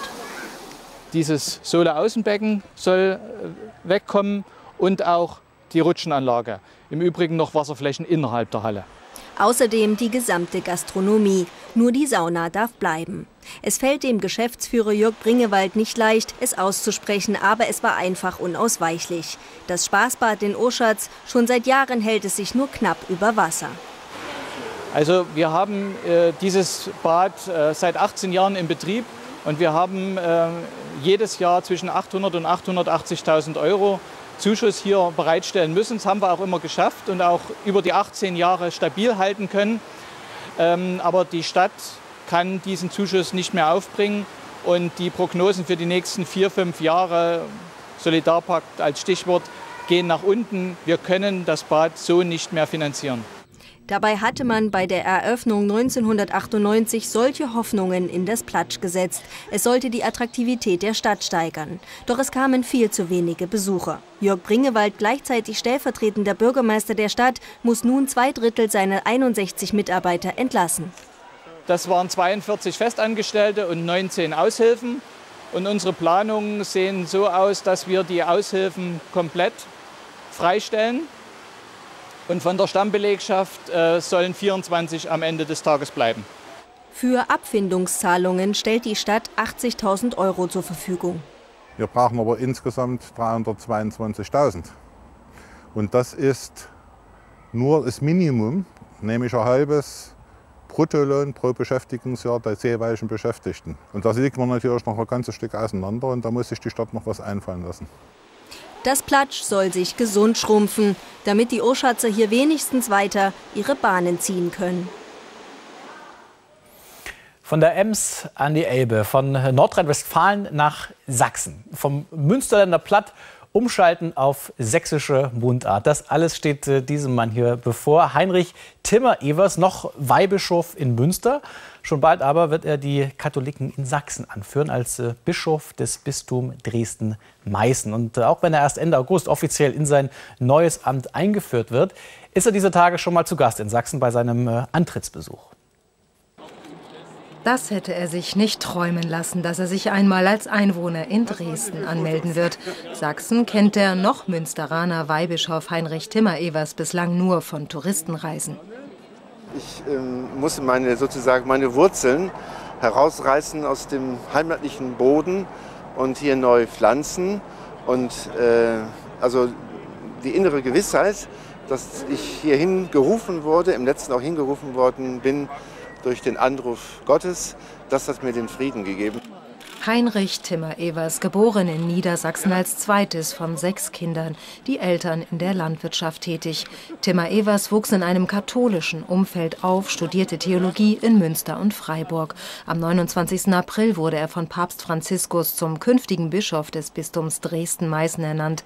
Sieben Monate war der Bischofsstuhl leer geblieben. Bischof Heiner Koch war nach nur zweieinhalb Jahren im September vergangenen Jahres einem Ruf nach Berlin gefolgt. Wie lange hat Heinrich Timmer-Evers als Bischof vorzubleiben? Ich komme nicht als Praktikant. Ich war bisher äh, in den Stellen, die ich äh, wahrgenommen habe, sowohl als Pfarrer war ich elf Jahre, jetzt war ich 15 Jahre an der Stelle in Fechter. Und ich denke, das ist für mich jetzt die Stelle, äh, von der ich mich dann in den Ruhestand verabschieden werde. Aber das ist noch weit weg. Gefragt nach seinen Erwartungen antwortet er nur, er werde zunächst sehr viel lernen müssen, zuhören und beobachten im neuen Bistum, in dem 4 Prozent der Bevölkerung katholisch ist. Beim Deutschen Katholikentag Ende Mai in Leipzig ist der 63-Jährige noch geladener Teilnehmer. Seine Bischofsweihe in der Hofkirche ist erst am 27. August. Zu Hause im Heimatland arbeiten, wohnen wiederum drüben beim Nachbarn. So in etwa sieht das Modell aus, für das derzeit zwei Städte im Dreiländereck werben. Wir haben ja schon mal berichtet über den stellvertretenden Oberbürgermeister von Liberec, der zwei Wochen lang auf Probe auf der anderen Seite der Grenze, nämlich in Zittau, gelebt hat. Und seit heute nun läuft der zweite Teil dieses Selbstversuchs. Diesmal zieht der Zittauer OB zum Schnupperwohn rüber nach Liberec. Ein Liberezer Einwohner auf Zeit stellt sich der tschechischen Presse vor. Zwei Wochen lang will Zittaus Stadtoberhaupt Thomas Zenker herausfinden, wie die Nachbarstadt so tickt. Darum will er tags seine Arbeit in Zittau erledigen und sich abends mit seinen Kollegen aus dem Liberezer Rathaus treffen. Ich erwarte vor allem, dass wir ein bisschen mehr Zeit dafür haben, wovor wir sonst keine Zeit haben. Das heißt, Dinge auszutauschen, auf die man nicht so schnell kommt, die man also wirklich erleben muss, um die Fragen überhaupt entwickeln zu können. Liberec boomt. Insbesondere die Automobilbranche sorgt für neue Arbeitsplätze, aber auch für Wohnungsknappheit. So entwickelte die Liberecer Stadtverwaltung gemeinsam mit Zittau ein EU-Projekt. Nach den Worten von Jan Korica, dem Vize-Stadtoberhaupt von Liberec, geht es dabei um die Sanierung leerstehender Wohnungen in Zittau für zahlungskräftige tschechische Bürger. Vorteil für Zittau, sanierte Häuser, mehr Steuereinnahmen für kommunale Investitionen und mehr Kaufkraft. Im deutsch-tschechischen Ballungsraum Zittau-Liberec leben insgesamt rund 150.000 Menschen, verbunden durch eine Bahnstrecke, die seit Jahren Probleme bereitet. Die Züge rumpeln hier über nahezu schrottreife Gleise. Daher haben beide Stadtverwaltungen einen dringenden Wunsch, so Zittaus Oberbürgermeister dass nicht der Zug, der ziemlich modern ist, auf dieser Strecke nahezu mit Schrittgeschwindigkeit da durchschleicht. Das ist erstmal das Allerwichtigste. Gemeinsam mit dem Liberezer Vize-Stadtchef Jan Koritasch will Thomas Zenker einen wirtschaftlich starken Ballungsraum entwickeln. Heute Abend wird es sehr spät und dann bin ich froh, wenn ich Herrn Koritasch noch treffen kann und auf einfach ein Bier den Abend, die Woche beginnen. Während seiner Zeit in Lieberitz wird der Zittauer Oberbürgermeister nah am dortigen Rathaus in einem Hotel wohnen. Mehr Windenergie gefordert. Sachsens Windenergiebranche hat vor der Staatskanzlei gegen die geplante Drosselung des Anlagenbaus demonstriert. Damit nahm sie an einem bundesweiten Aktionstag teil. Anlass sind Pläne des Bundeswirtschaftsministeriums, den Ausbau erneuerbarer Energieträger zu begrenzen. Gehältervergleich möglich. Seit heute stehen auch für Sachsen die Löhne und Gehälter für Hunderte von Berufen online zur Verfügung. Grundlage ist der Entgeltatlas der Bundesagentur für Arbeit. Damit können Vollzeitgehälter mit anderen Bundesländern nach Altersgruppen oder Geschlecht verglichen werden. Prüfungsbögen gestohlen. In einer Dresdner Oberschule ist der Tresor mit den Fragebögen der Abschlussprüfungen entwendet worden. Die Prüfungen für die rund 17.200 Oberschüler in Sachsen können trotzdem wie geplant stattfinden. Das Kultusministerium hat Ersatzaufgaben an die Schulen weitergeleitet.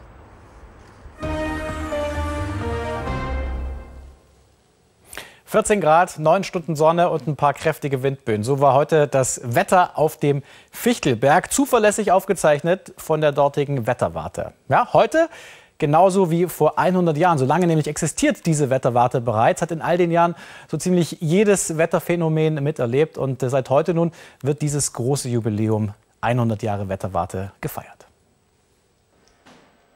Seit 37 Jahren lebt und arbeitet Gerd Franze auf Sachsens höchstem Gipfel. Er ist der Wetterfrosch vom Fichtelberg, misst Niederschlag und Sonnenstrahlung, beobachtet die Form der Wolken. Die Wetterwarte in 1200 Meter Höhe ist Wohnung und Arbeitsstätte zugleich. Man muss schon was aufpassen, dass man auch im Privatbereich dann nicht immer im Dienst ist.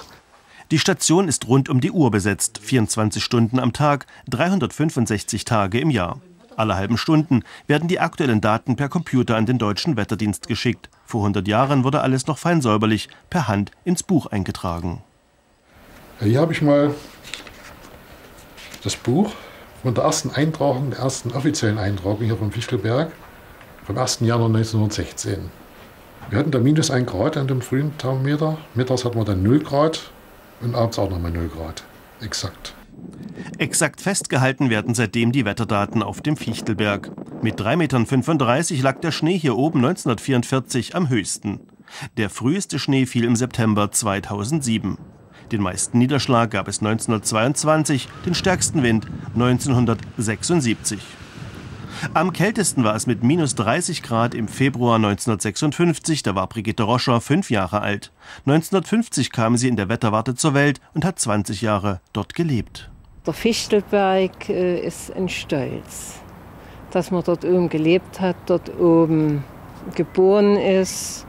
Und äh, das erfüllt einen schon mit Stolz und da ist man auch ein bisschen was Besonderes.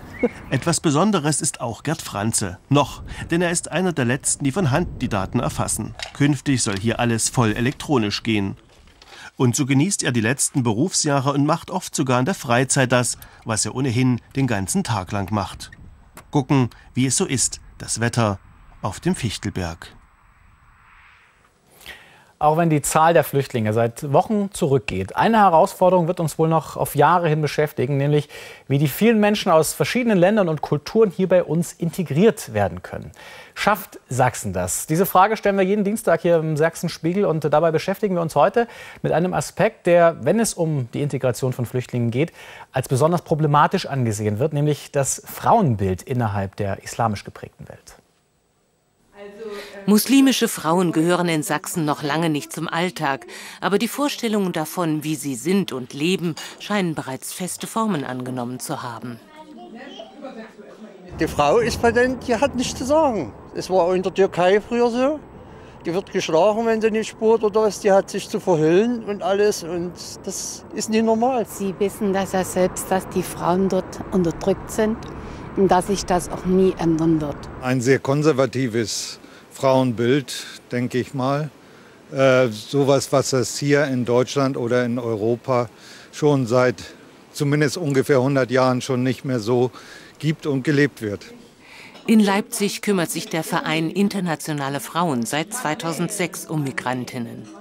Wir haben damals festgestellt, dass speziell auch hier im Leipziger Osten sehr viele sehr hochqualifizierte Frauen hergezogen sind. Und da haben wir gesagt, Mensch, den müsste man eigentlich irgendwie ein Forum bieten, weil die Männer, die konnten häufig rausgehen und sind in irgendwelche Cafés, haben sich getroffen, aber die Frauen waren meistens zu Hause.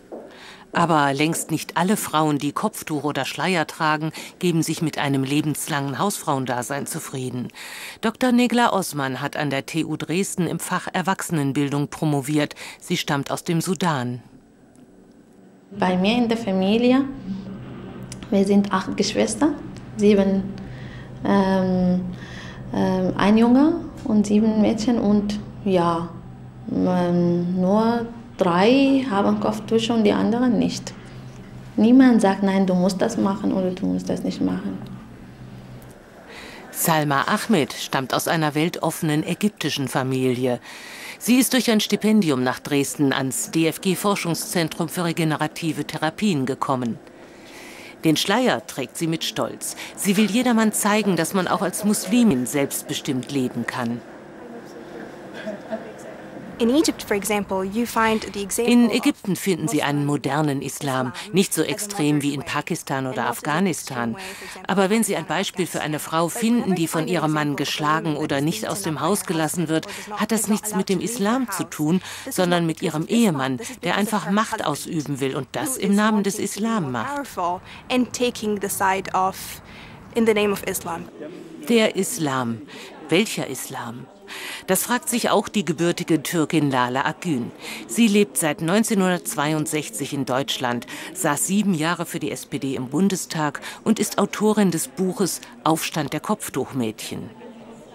Der politische Islam hat sich die Frau ausgesucht, um sich selbst darzustellen. Die Frau wird zum Leitbild des konservativen politischen Islam. Interessanterweise sind ja diese orthodoxen Muslime, die ihr Leben nach dem Vorbild des Propheten ausrichten wollen, was Technik und Fortschritt angeht, sehr weltoffen. Also sie fahren Autos, sie haben natürlich Smartphones, sie haben Computer, aber das Familienbild, das Frauenbild ist natürlich erzkonservativ und, und äh, bringt die Leute dazu auch, sich abzukapseln. Weltoffen, aufgeschlossen, tolerant, so wollen reformorientierte moderne Muslime ihren Glauben leben. Doch sie fühlen sich von den in Deutschland aktiven Islamverbänden nicht repräsentiert. Wenn Sie in die Moschee gehen und hören vom Imam, wie eine saubere Frau, eine muslimische Frau sich benehmen muss, wie sie zu sein hat, dann sind das die Kräfte, die die Frauen in diesem System halten wollen. Diese, diese Moscheevereine sichern sich ihren Nachwuchs, ihr Überleben, indem sie Frauen eben raushalten aus dem normalen gesellschaftlichen Leben. Der muslimische Mann als Despot, so empfinden das hier viele und betrachten ihn gleich als Gefahr. Was uns Angst macht, ist, es kommen sehr viele Männer nur. Ne? Wir, haben, äh, oder wir gehen davon aus, die sollen doch lieber ihre, ihr Land wieder aufbauen und dort ein bisschen alle unterstützen. Und hier ähm, weiß ich nicht, also die Frau hat schon Angst hier. Ich habe auch Angst, hier abends zu gehen. Ich bin eben, also ich komme mit dem Auto, ich habe kein Problem. Aber ich glaube, dass wenn du zu Fuß gehst oder so und also ich habe Angst. Ja, ich habe Angst abends, wenn es dämmert, lässt mich auch mein Mann nicht mehr alleine rausgehen. Aber sind denn tatsächlich für Vergewaltigungen und sexuelle Nötigungen hauptsächlich Ausländer verantwortlich? Die polizeiliche Kriminalstatistik für das vergangene Jahr weist 1992 Anzeigen von Straftaten gegen die sexuelle Selbstbestimmung aus. 1487 Tatverdächtige wurden ermittelt, davon waren 165 nicht deutsch, das sind 11,1 Prozent. Im Umkehrschluss bedeutet das, für 88,9 Prozent der Vergewaltigungen und sexuellen Nötigungen kamen Deutsche in Frage. Nachgefragt bei der auf Gewalt gegen Frauen spezialisierten Beratungsstelle in Leipzig. Melden sich hier vermehrt Frauen, weil sie von Ausländern bedrängt wurden? Können wir aus der Beratungsstelle her mit, mit Bestimmtheit ablehnen, dass wir äh, vermehrte Meldungen hier in der Beratungsstelle haben. Es hat vermehrte Meldungen in der Presse gegeben. Trotzdem, auf einmal gibt es spezielle Frauenabteile in Regionalzügen. Sie sollen allerdings kein Affront gegen Ausländer sein, sondern generell Frauen ein Sicherheitsgefühl vermitteln. Die Erläuterung der Baderegeln in öffentlichen Schwimmbädern hingegen richtet sich eindeutig an nicht-deutsche Nutzer. Es hat in der einen oder anderen Situation doch mitunter Probleme gegeben, dadurch, dass die Migranten nicht immer wissen, wie verhält man sich äh, in Hallenbädern oder in Freibädern. Allgemeine Verhaltensregeln durch einfache bildliche Darstellung auch für Analphabeten verständlich, das ist das eine. Andererseits wird hier auch noch einmal unmissverständlich darauf hingewiesen, was man mit seinen Händen machen darf und was nicht. Die Übergriffe, wir hatten insgesamt drei in diesem Jahr, sind vielleicht teilweise auch ein bisschen sehr hoch gespielt worden. Man muss ja immer auch die Grenze ziehen wo geht eine sexuelle Belästigung los und wo ist es vielleicht nur einmal ein unabsichtliches Streifen einer Person, was ja in einem Bad immer wieder passieren kann. Die Übergriffe in der Kölner Silvesternacht haben Vorurteile gegen muslimische Männer genährt. Den vielfältigen Angeboten zur Integration hat das allerdings keinen Abbruch getan. Und bei vielen Menschen, die haupt- und ehrenamtlich Migranten betreuen, ist die Erkenntnis gereift, dass den Frauen ein besonderes Augenmerk gelten muss. Meine Hoffnung ist natürlich, dass viele junge Frauen sich anders entwickeln werden, als es vorher der Fall war. Denn die Gesellschaft gibt natürlich ein wichtiges Vorbild. Also wenn Sie in Deutschland leben und haben ganz viele Gleichaltrige, die alle selbstbestimmt leben wollen, dann wollen Sie als junge Frau auch selbstbestimmt leben. Ja, und zu diesem Thema haben wir auch im Internet jede Menge Informationen für Sie vorbereitet, und zwar in einer Multimedia-Reportage, in der die Frauen aus unserem Beitrag noch mal ausführlicher zu Wort kommen und weitere Einblicke in ihre Lebenswirklichkeit geben. Nach dem Aufstiegsjubel vom Wochenende steht für die Fußballer von Erzgebirge Aue heute gleich das nächste Highlight an, und zwar das Finale des Sachsenpokals, in dem die Veilchen auf einen Erzrivalen treffen, nämlich den FSV Zwickau, immerhin aktueller Tabellenführer in der Regionalliga. Die Partie, die begann etwas später als geplant, weil nämlich Pyros gezündet und aufs Spielfeld geworfen wurden. Jetzt läuft die Partie seit einer guten Viertelstunde. Viel ist da nicht in der Anfangsphase passiert. Weder Aue noch Zwickau hatten eine äh, klare Torchance. Aktueller Spielstand also 0 zu 0. Und äh, beide Teams, sowohl Zwickau als auch Aue, sind ja bereits qualifiziert für den DFB-Pokal. Deshalb die Frage an Sven Böttger im Erzgebirgsstadion. Äh, wie ernst, Sven, nehmen denn beide Mannschaften dieses Spiel? Also beide Mannschaften wollen natürlich heute Abend dieses Prestigeduell für sich entscheiden, wollen den Pokal holen. Wenn man denn schon mal im Finale ist, dann will man natürlich auch den Pott. Aber ein Blick auf die Aufstellungen, der hat auch gezeigt, dass beide Mannschaften durchaus große Wechsel vorgenommen haben. Von der Auer Mannschaft vom Wochenende, die den Aufstieg in Köln gefeiert hat, sind nur vier Spieler heute mit dabei. Ja, und bei Zwickau sieht es ähnlich aus. Da spielen auch nicht alle Spieler vom Wochenende, denn Zwickau hat ja noch einiges vor der Brust, noch zwei schwere Spieltage.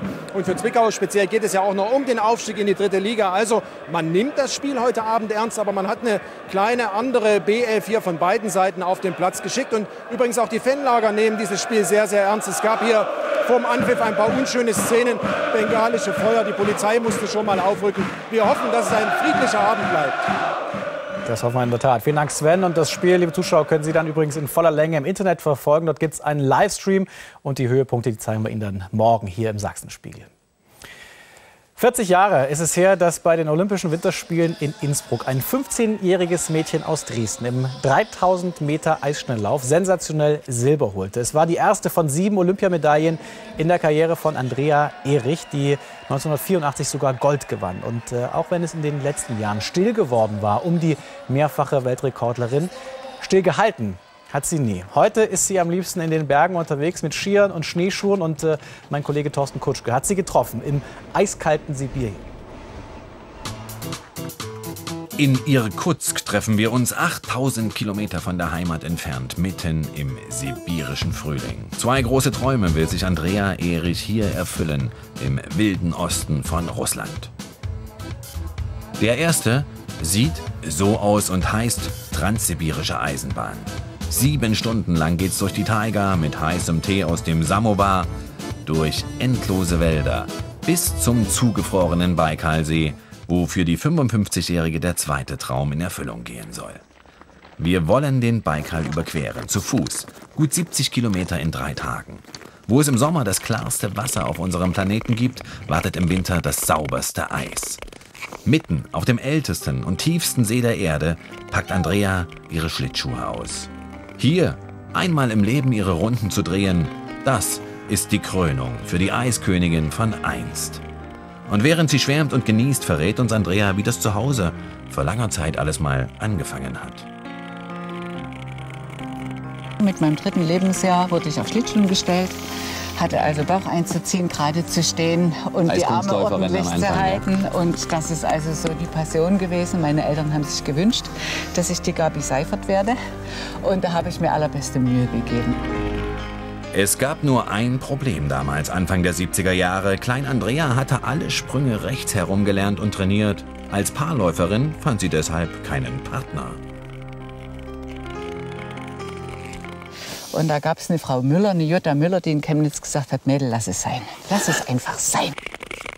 Also wechselte Andrea zu den Eisschnellläufern. Der Rest wurde ein großartiges Kapitel Sportgeschichte. Und das hier und heute, das ist purer Genuss. Und? Wie geht's dir jetzt? Klasse, klasse. Die also, Eiskönigin. Also, klasse. Sehr schön. Ja, hätte ich nie gedacht, dass, dass vor allen Dingen, dass du so gut laufen kannst an einigen Stellen. Ne? Das ist ja sensationell. Na, dir steht die Freude ins Gesicht ja, geschrieben. Ja, ja, ja. Was Andrea Erich auf dem Baikal und in Sibirien noch alles erlebt, das zeigt der MDR morgen Abend ab 21.15 Uhr in der Biwak-Reportage zu Fuß über den Baikalsee. Und wir sehen uns bereits ab 19 Uhr wieder. Jetzt geht es hier weiter mit MDR aktuell. Thema dort unter anderem die Messerattacke heute in der Nähe von München, bei der ein Mensch getötet wurde. Vorher aber hat Stefanie Meißer noch den Blick aufs Wetter mit nicht ganz so tollen Aussichten für Pfingsten. Ihnen noch einen schönen Abend und bis morgen dann. Tschüss.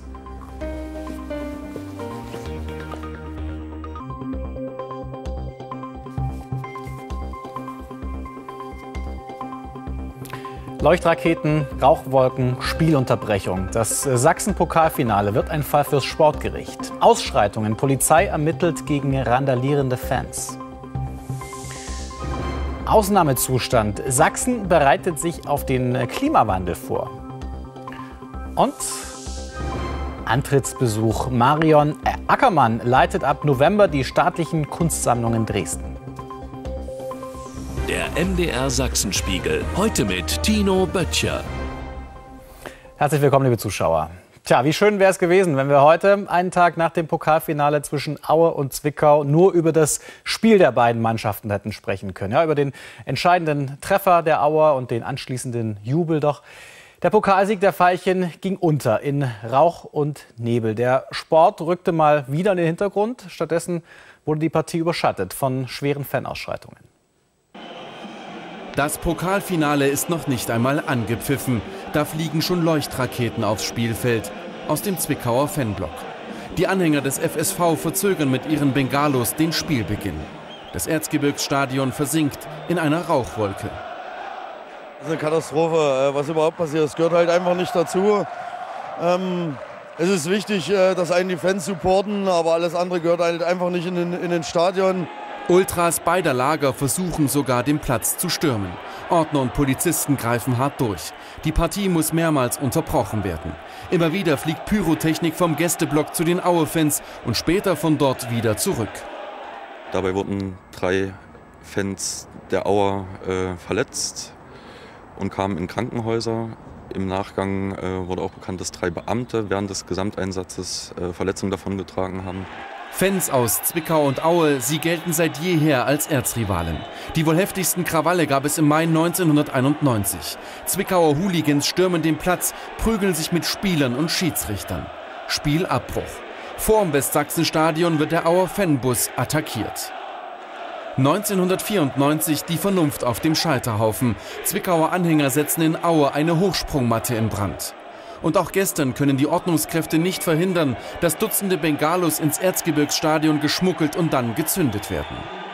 Also ich habe auch wieder nachgefragt bei den Sicherheitskräften, wie kommt man denn mit diesen Sachen auch rein? Und das sind aber solche kleinen Dosen, äh, da kann man so viel abtasten, aber man, man kriegt es dann eben nicht. Das Sachsen-Pokalfinale. Es wird ein juristisches Nachspiel haben. Der Fall liegt beim Sportgericht. Tja, trotzdem wurde natürlich auch noch 90 Minuten lang Fußball gespielt. Darüber wollen wir viel lieber sprechen und das machen wir dann auch etwas später in der Sendung. Vorher aber reden wir übers Wetter. Und zwar nicht darüber, ob wir morgen einen Regenschirm brauchen oder wie warm es an Pfingsten wird, sondern wir wollen wissen, wie sich das Wetter oder vielmehr das Klima in den nächsten Jahren so entwickelt, langfristig. Es ist ja viel von Klimawandel die Rede und der macht sich auch hier bei uns in Sachsen bemerkbar, sagen zumindest die Wissenschaftler, die jetzt im Erzgebirge zusammengekommen sind, bei den Annaberger Klimatagen. Sahara-Sommer mit langen Trockenphasen und immer häufiger Gewitter, Hagel, Überschwemmungen. Und die Winter eher mild und schneearm, sagen die Experten. Klingt nicht wirklich super, die Prognose für das Klima in Sachsen. Der Klimawandel wird uns schon auf jeden Fall treffen. Das Problem ist natürlich, dass das ein langfristiger Prozess ist, den man nicht in den nächsten Jahren sieht. Und natürlich kurzfristig ist auch mal zwei, drei Jahre kühler sein kann. Das heißt, das ist natürlich eine Geschichte, die man erst so in einigen Jahrzehnten deutlich sehen wird. Aber die Anzeichen, die spüren die Wissenschaftler schon jetzt. Beispiel Starkregen. Da braut sich immer häufiger etwas zusammen über Sachsen. Man konnte aus dem Zahlenmaterial heraus separieren, dass äh, insbesondere die zugenommene sommerliche Wärmebelastung, ja, dass mit dieser zugenommenen äh, Wärmebelastung einhergeht ein hochsprunghaft angestiegenes Starkregenverhalten bedeutet für die Zukunft, dass jeder Einzelne sich darauf einstellen muss. So wird zum Beispiel der Wald in Sachsen bis 2050 umgebaut, mit Baumarten, die den Wetterextremen besser trotzen sollen. Auch das ist ein Thema für die Experten auf der deutschlandweit einzigartigen Fachtagung zum Klimawandel. Es kommen immer wieder äh, neue Erkenntnisse dazu. Das Thema ist extrem komplex und deshalb ist es gut, wenn Experten aus der Wissenschaft, aus der Meteorologie, äh, aus der Verwaltung zusammensitzen und darüber diskutieren, wie gehen wir damit um. Noch bis morgen werden die 120 Fachleute aus vier Nationen ihre neuesten Erkenntnisse zum Thema Klima in Annaberg-Buchholz austauschen. Die Stiftungskultur in Sachsen ist fast 800 Jahre alt. Die erste Stiftung im Freistaat wurde damals in Grimma ins Leben gerufen und inzwischen gibt es hierzulande mehr als 500 Stiftungen, bei denen eben Geld aus Privatvermögen bestimmten Zwecken zukommt. Und äh, viele von diesen Stiftungen sind auch vertreten beim Deutschen Stiftungstag, der heute in Leipzig begonnen hat. Felix Mendelssohn Bartholdy, einer der berühmtesten Söhne Leipzigs. Dieser große Komponist, Pianist und Organist, der dem Erbe Bachs zur Bedeutsamkeit verhalf. Sein Haus in der Leipziger Innenstadt ist im Besitz der Felix Mendelssohn Bartholdy Stiftung.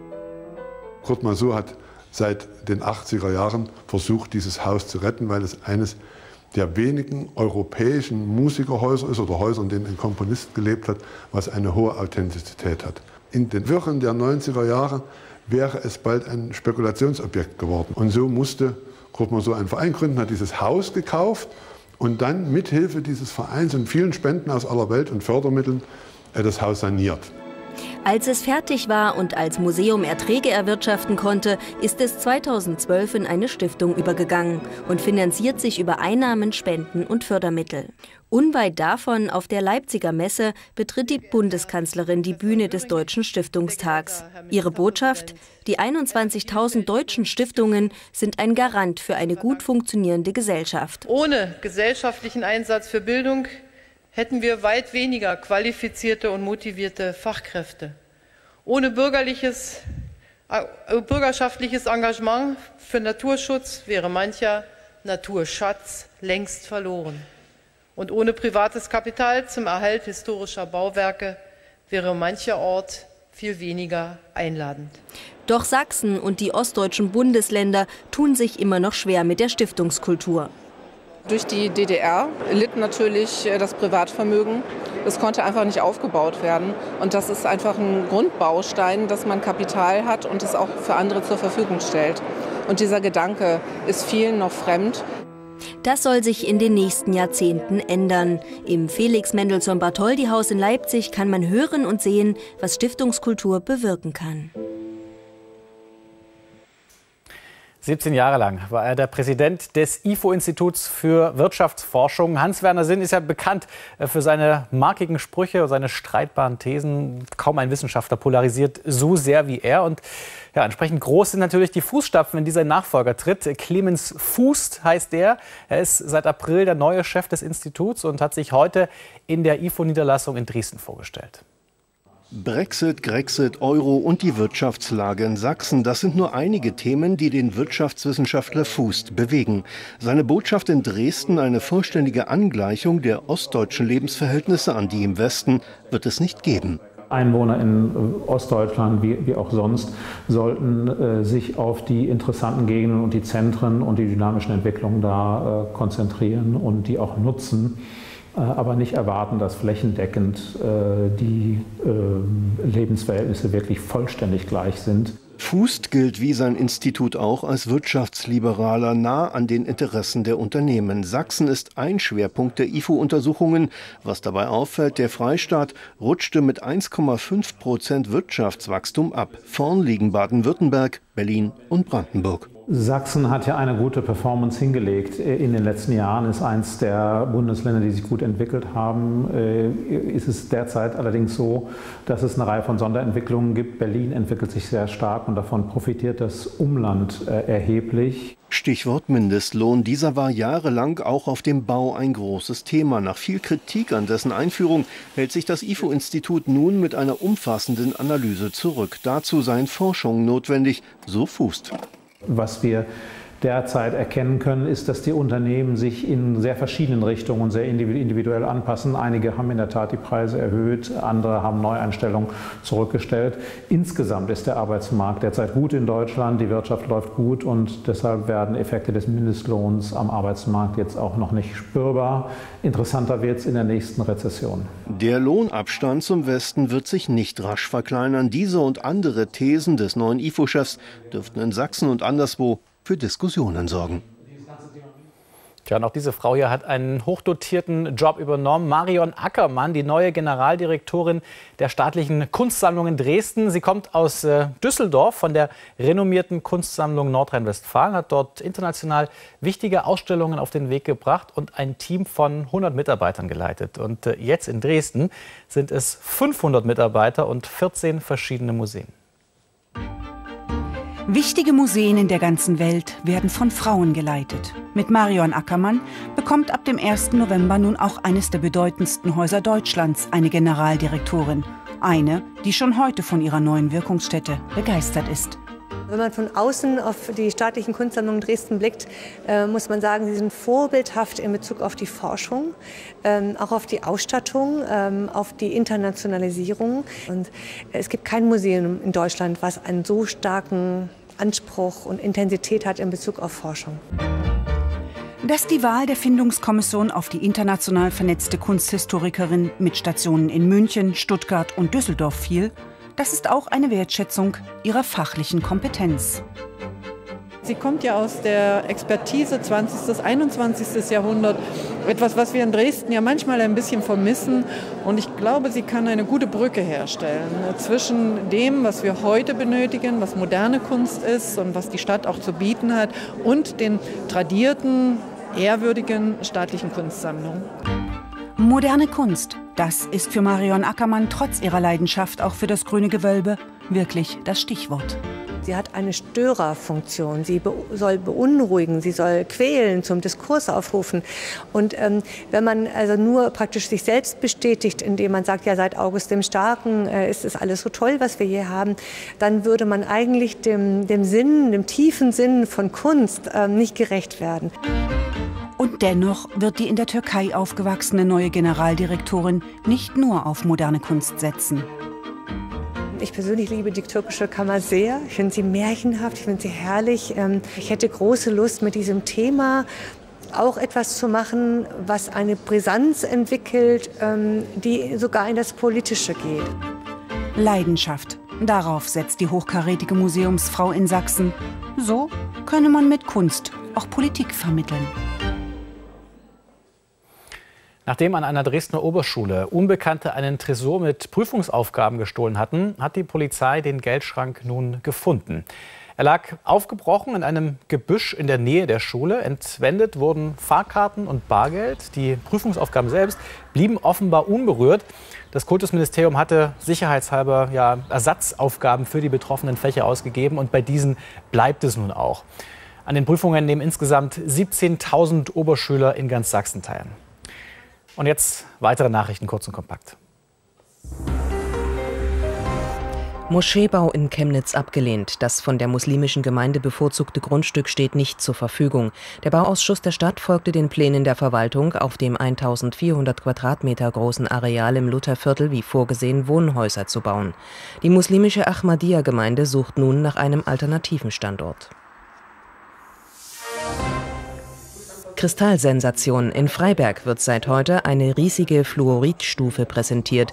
Sie ist 240 Kilogramm schwer und war im Januar nach einer Bergwerkssprengung bei Oberwiesenthal gefunden worden. Aufgrund ihrer Größe und ihrer einzigartigen Kristalle gilt sie als Sensation und erhielt den Namen die Perle von Sachsen. Gewandhaus Zwickau wird saniert. Laut Stadtrat werden die Arbeiten im November beginnen.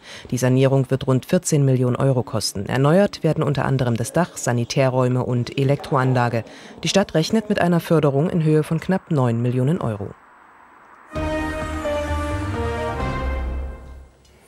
zusammen an einem Tisch sitzen und gemeinsam etwas zu essen bestellen, was eigentlich ganz nett und entspannt klingt, ist inzwischen ganz schön kompliziert geworden. Ja, der eine mag das nicht, der andere verträgt jenes nicht. Es gibt Vegetarier, Veganer, Fleischesser, Rohköstler, Menschen mit Laktoseintoleranz und so weiter und so fort, weshalb Gäste im Restaurant auch immer häufiger die Speisekarte zerpflücken und Extrawürste verlangen.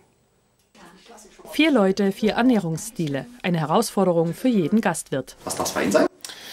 Ja, ich würde das Wildschnitzel nehmen mit dem Kürbis-Kohlrabi-Gemüse und den erzgebirgischen Buttermilchgätzen. Gnocchi-Gemüsepfanne. Können Sie sagen, ob die auch vegan ist? Also hier steht vegetarisch. Vegane Gäste kennt er, aber diesmal sitzt sogar eine Rohköstlerin mit am Tisch. Vielleicht könnte ich dann mal mit dem Koch sprechen, was Sie Gerne. Angebot Ja, haben. nö, also- was möglich wäre an Wurzelgemüse vielleicht, weil ich habe hier nicht so richtig was gefunden. Also es muss irgendwie, kommt es mir zumindest so vor, immer alles funktionieren. Auch wenn man mal sagt nein, dann ist man gleich unflexibel. Dabei bemüht er sich wirklich. Was viele Gäste nicht wissen, bevor ein Gericht überhaupt in die Speisekarte kommt, hat es mehrere Verkostungsrunden hinter sich und ist centgenau berechnet. Aber trotz aller Probeläufe und Kalkulationen, die vielen Sonderwünsche bringen Koch und Gastwirt an ihre Grenzen. Gastronomie äh, funktioniert eigentlich nur so, dass die Gäste Vertrauen in dem Koch stecken, der das Essen herstellt. Und äh, das Vertrauen ist manchmal so ein bisschen angeknackst, äh, indem Leute da in die Gaststätte kommen und anfangen, die Karte völlig auseinanderzunehmen und zu, äh, sich ihre eigenen Gerichte zu, zu kreieren und dann sich wundern, dass es manchmal dann nie funktioniert, auf Deutsch gesagt. Ich persönlich komme mir manchmal vor, als wäre ich ein Mietkoch. Und äh, das, das kann eigentlich so, so nie wirklich sein, dass man ähm, für jeden persönlich, also ich kann nie für jeden persönlich kochen. Das, ist, das, das geht nie. In der Runde sitzt auch Armin Schumann vom Deutschen Hotel- und Gaststättenverband. Er weiß schon länger, dass die zunehmenden Extrawünsche ein richtiges Problem sind. Also es ist schwierig, ähm, bei kleinen Gaststätten auf jeden Fall jedem gerecht zu werden. Also das muss man schon so sagen. Das, das kann man auch nicht. Selbst große Hotels tun sich sicherlich auch schwer damit. Das ist natürlich im Einzelfall schon machbar, aber natürlich jetzt nicht in großer Bandbreite. Jan Kempes Koch hat es tatsächlich geschafft, die drei Extraessen genauso schnell und perfekt zuzubereiten wie das Gericht von der Speisekarte. Nach 20 Minuten wird serviert. Denn trotz aller Sonderwünsche, deshalb länger warten, wollen seine Gäste natürlich nicht. Ja, und trotzdem fragen sich eben viele, ist denn niemand mehr normal? Und das ist auch der Titel der Sendung heute bei Exakt die Story, zu sehen ab 20.45 Uhr hier im MDR. Die Renten sind nicht nur in Ost und West verschieden, sondern auch zwischen Männern und Frauen. Ja, weil sie oft weniger Geld verdienen als Männer, weil sie geringfügig beschäftigt sind, weil sie wegen Kindererziehung weniger Berufsjahre auf dem Konto haben. Wegen all dem beziehen Frauen im Schnitt deutlich niedrigere Renten als Männer. Und äh, darauf muss sich auch diese Taxifahrerin einstellen. Annegret Kreuz sagt, sie sei eine echte Kämpferin. Die gelernte Fachverkäuferin hat schon alles mitgemacht. Entlassung, Hartz IV, Selbstständigkeit, Privatinsolvenz. Jetzt fährt sie Taxi. In Dresden von 4 Uhr morgens bis mittags um 1. Bis zur Rente muss sie noch zehn Jahre lang arbeiten. Der Rentenbescheid verspricht ihr dann monatlich 361 Euro. Sie hat keine Ersparnisse, um den Lebensunterhalt als Rentnerin zu sichern. Ich habe jetzt 1080 Euro was soll ich da weglegen? Man verzichtet auf Theater, man verzichtet auf Kino. Äh, man geht zwar raus, aber man guckt dann in die Regale. Kann ich mir das leisten? Kann ich mir das nicht leisten? Annegret Kreuz wird sich im Alter noch weniger leisten können. Wenn alles so bleibt wie jetzt, wird sie also eine monatliche Rente in Höhe von rund 361 Euro erhalten. Für die Wohnung samt Nebenkosten zahlt sie schon heute 395 Euro. Deshalb bekommt sie als Rentnerin eine Grundsicherung und die berechnet sich wie folgt. Der Regelbedarf beträgt in ihrem Fall 404 Euro, der zusätzliche Mehrbedarf 68 Euro. Die Mietkosten von 395 Euro werden vom Staat übernommen. Insgesamt macht das 867 Euro. Von dieser Gesamtsumme wird nun die Rente komplett abgezogen, also 361 Euro. Und so bleiben Frau Kreuz als Rentnerin monatlich 506 Euro zum Leben. Das ist dann in ihrem Fall die Grundsicherung. Frauen sind besonders betroffen, weil Frauen natürlich in den Branchen arbeiten, insbesondere in der Dienstleistung. Und ich nenne jetzt nur ein Beispiel. Jeder Vierte in Sachsen ist betroffen vom gesetzlichen Mindestlohn. Das heißt, alle die Menschen, wenn die jetzt 45 Jahre arbeiten würden, äh, mit dem gesetzlichen Mindestlohn hätten eine Rente, eine Altersrente äh, auf Höhe der Grundsicherung. Somit steht das Beispiel von Annegret Kreuz exemplarisch für eine immer größer werdende Gruppe älterer Menschen, die im Alter noch ärmer wird. Bei der Einführung der Grundsicherung 2003 erhielten rund 440.000 ältere Menschen in Deutschland eine Rentenaufstockung. Heute sind es mehr als eine Million. Das aber bleibe nicht ohne Folgen. Unsere Sozialberatungsstellen im Paritätischen vermelden auch deutlich den Anstieg von gerade älteren Menschen, die kommen und Rat suchen auch im Bereich der äh, Drogenabhängigkeit, hier ist es eben vor allem der Alkohol, hat sich der Alkohol wirklich im Wesentlichen zu einer Droge der älteren Menschen entwickelt. Das ist tatsächlich so. Und wenn Sie dann in die Großstädte schauen, in die Ballungsräume, dort haben Sie die Einsamkeit im Alter, die Verwahrlosung, äh, Zwangsräumungen, Stromabschaltungen. Das sind nicht nur die Großfamilien, ähm, sondern das sind gerade alte Menschen betroffen. Der Paritätische Wohlfahrtsverband sieht für das Problem nur eine Lösung. Keine Rentenaufstockung, sondern eine Bürgerversicherung für alle. Das findet auch Annegret Kreuz vernünftig. Um ihren gesetzlichen Rentenanspruch vielleicht doch noch etwas zu verbessern, will sie mindestens bis zu ihrem 70. Lebensjahr arbeiten. Es ist ein See der Superlative. Mit über 1640 Metern gilt der Baikalsee in Sibirien als tiefster Binnensee der Erde und mit seinen 25 Millionen Jahren zudem noch als weltweit ältester Süßwassersee. Aber es sind nicht nur diese Rekorddaten, die unsere Kollegen vom MDR Abenteuermagazin Biwak fast schon magisch angezogen haben. Sie wollten dort, wo der Winter bis in den Mai hinein dauert, einmal zu Fuß über dieses sogenannte Heilige Meer der Russen marschieren, eben über jenen sagenumwobenen Baikalsee. Es ist nicht irgendein See, über den wir laufen und auch nicht irgendwelches Eis. Es ist das sauberste Eis der Welt. Und es war unser aller Traum, hier einmal unterwegs zu sein, auf dem größten, dem ältesten und tiefsten Süßwassersee der Erde. Bis weit ins Frühjahr hinein ist der Baikalsee mit Eis bedeckt. Wir wollen ihn überqueren, in drei Tagen von Ost nach West, 70 Kilometer Einsamkeit, auf denen nichts anderes zählt als das Hier und Jetzt. Sonst guckt man ja beim Wandern immer nach links oder nach rechts oder geradeaus. Hier geht der Blick sehr, sehr oft nach unten. Es ist einfach faszinierend, was Mutter Natur hier im Eis für Kunstwerke geschaffen hat. Mehr als einen Meter ist das Eis noch dick. Ein wildes Labyrinth, durchzogen von Spalten und Narben, auf denen wir uns fühlen wie winzige Ameisen auf der Suche nach dem rechten Weg. 8000 Kilometer weit sind wir geflogen. Von Dresden über Moskau und den Ural bis ins Herz von Sibirien nach Irkutsk. Wo uns ein alter Bekannter den Weg gewiesen hat, noch weiter gen Osten.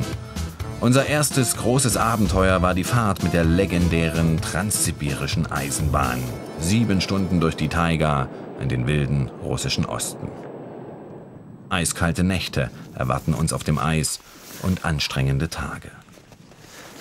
Es ist ein beschwerliches Fortkommen in den zerklüfteten Packeisfeldern und wie wir schneller merken, als uns lieb ist, auch kein ganz ungefährliches.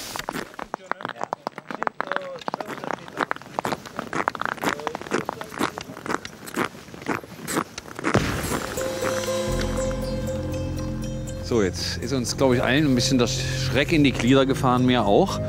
Äh, Sie haben es ja vielleicht gehört, es hat geknallt wie ein Kanonenschlag. Und ich stand gerade drei Meter davor und habe wirklich erstmal geguckt, ob ich nicht auf einer Scholle stehe. Es ist zum Glück nur ein schmaler langer Riss, der sich urplötzlich durchs Eis zieht. Die Sonne scheint, das Eis dehnt sich, aber die Ufern gehen nicht auseinander. Ja? Es muss das Eis sein, das bricht. Oft entstehen dabei meterhohe Barrieren, manchmal tiefe Spalten und Gräben. Ein Spaziergang wird dieses Abenteuer auf keinen Fall. Tja, und wie dieses Abenteuer weitergeht, das sehen Sie heute Abend in Biwak ab 21.15 Uhr hier im MDR. So, und jetzt kommen wir noch mal zum Landespokalfinale zwischen Aue und Zwickau. Die hässliche Seite dieses Abends haben wir Ihnen ja schon zu Beginn der Sendung gezeigt. Sportlich dagegen war dieses Duell durchaus ein Hingucker. Und das, obwohl Erzgebirge Aue genauso wie der FSV Zwickau aufgrund äh, des Auer Aufstieges schon vorher für den DFB-Pokal äh, qualifiziert waren. Die Auer-Fans sorgen von Beginn an für eine mitreißende Pokalfinalatmosphäre. Auf dem Platz aber sind es erstmal die Zwickauer, die mit ihrem Spiel begeistern und sogar ins Tor treffen. Marc Philipp Zimmermann dabei allerdings im Abseits. Der Regionalliga-Spitzenreiter auch bei Standards gefährlich, wie bei diesem Freistoß von Patrick Göbel, den Mario Seidel, der Männerersatz im Auer-Tor, pariert. Doch Zwickau bleibt dran und setzt immer wieder nach. Allein im Abschluss habert es.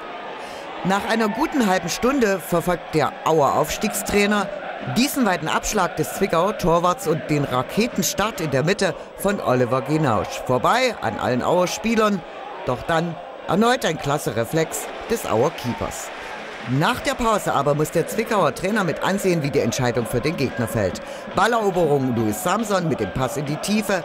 Max Wegner mit kurzer Körpertäuschung schiebt die Kugel zu Mario Kvesic, einem der Aufstiegshelden. Und das Sachsen-Pokalfinale ist mit einem Tor entschieden. Die Leistung, die gibt mir einfach Mut für die restlichen Aufgaben in der Meisterschaft und äh, das ist wichtig, wenn gleich wir logisch gewon gerne gewonnen hätten. Aber wir haben einen Fehler gemacht, den hat Aue bestraft und dementsprechend, ja, hat Aue gewonnen und Glückwunsch dazu. Wir wollten schon unbedingt gewinnen. Das ist ja ein Spiel, wo ums viel geht. Es geht um Prestige äh, und äh, es ist Finale und wir wollten jetzt äh, ähm, zeigen, dass wir absolut ein Profi sind und dass wir jetzt nicht uns feiern lassen. Nach dem Pokalsieg aber feiert Dotschews Truppe umso ausgelassener. Als der Komponist Max Reger heute vor genau 100 Jahren starb, war er so etwas wie ein musikalischer Superstar. Und äh, auch wenn später sogar ein Asteroid nach ihm benannt wurde, heutzutage ist Reger bei weitem nicht mehr so bekannt wie ein Brahms zum Beispiel oder ein Bach oder auch ein Beethoven. Doch das soll sich jetzt ändern, und zumindest wenn es nach der Stadt Leipzig geht. Hier hat der Komponist lange Zeit gewirkt und hier wird seit dieser Woche mit den Max Reger Festtagen an den Meister erinnert. Höchst virtuos spielen muss man sie, die Musik von Max Reger. Studenten der Hochschule für Musik und Theater in Leipzig stellten sich der Herausforderung, produzierten mit ihren Lehrern gleich drei CDs zum Jubiläum, eine echte Entdeckung. Diese anderen Sachen, die wir jetzt kennengelernt haben, die sind auf jeden Fall sehr interessant und es ist äh, schon erstaunlich, dass es so unbekannt in Anführungsstrichen ist. Ähm, ich finde, Max Reger muss das Cello sehr geliebt haben. Das merkt man an seinen Kompositionen. 1907 kam Max Reger als Direktor des Königlichen Konservatoriums nach Leipzig, dem Wirkungsort seines großen Vorbildes Johann Sebastian Bach. Reger, heute fast nur wegen seiner Chor- und Orgelwerke bekannt, spielte oft in der Thomaskirche, um Bach ganz nah zu sein. Na, es ist ja so, dass er dieses B, A, C, H hat er ja wirklich in Töne gemeißelt in seinen eigenen Kompositionen.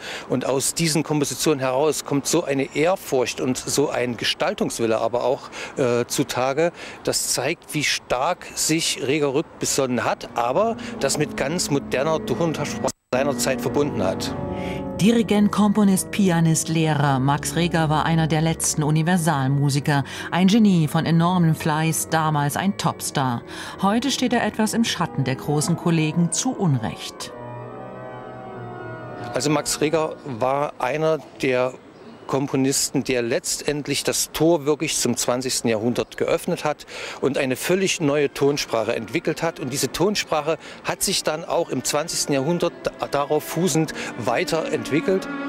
Der Titan, der Familienvater, hatte auch seine Schattenseiten. War Workaholiker, Kettenraucher, Alkoholiker.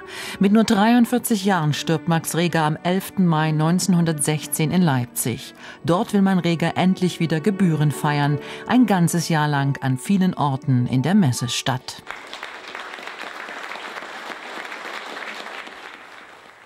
Und das war's von uns für heute. Gleich geht's hier weiter mit MDR aktuell. Vorher aber hat Maira Rote noch den Blick aufs Wetter und ich wünsche Ihnen noch einen schönen Abend. Tschüss.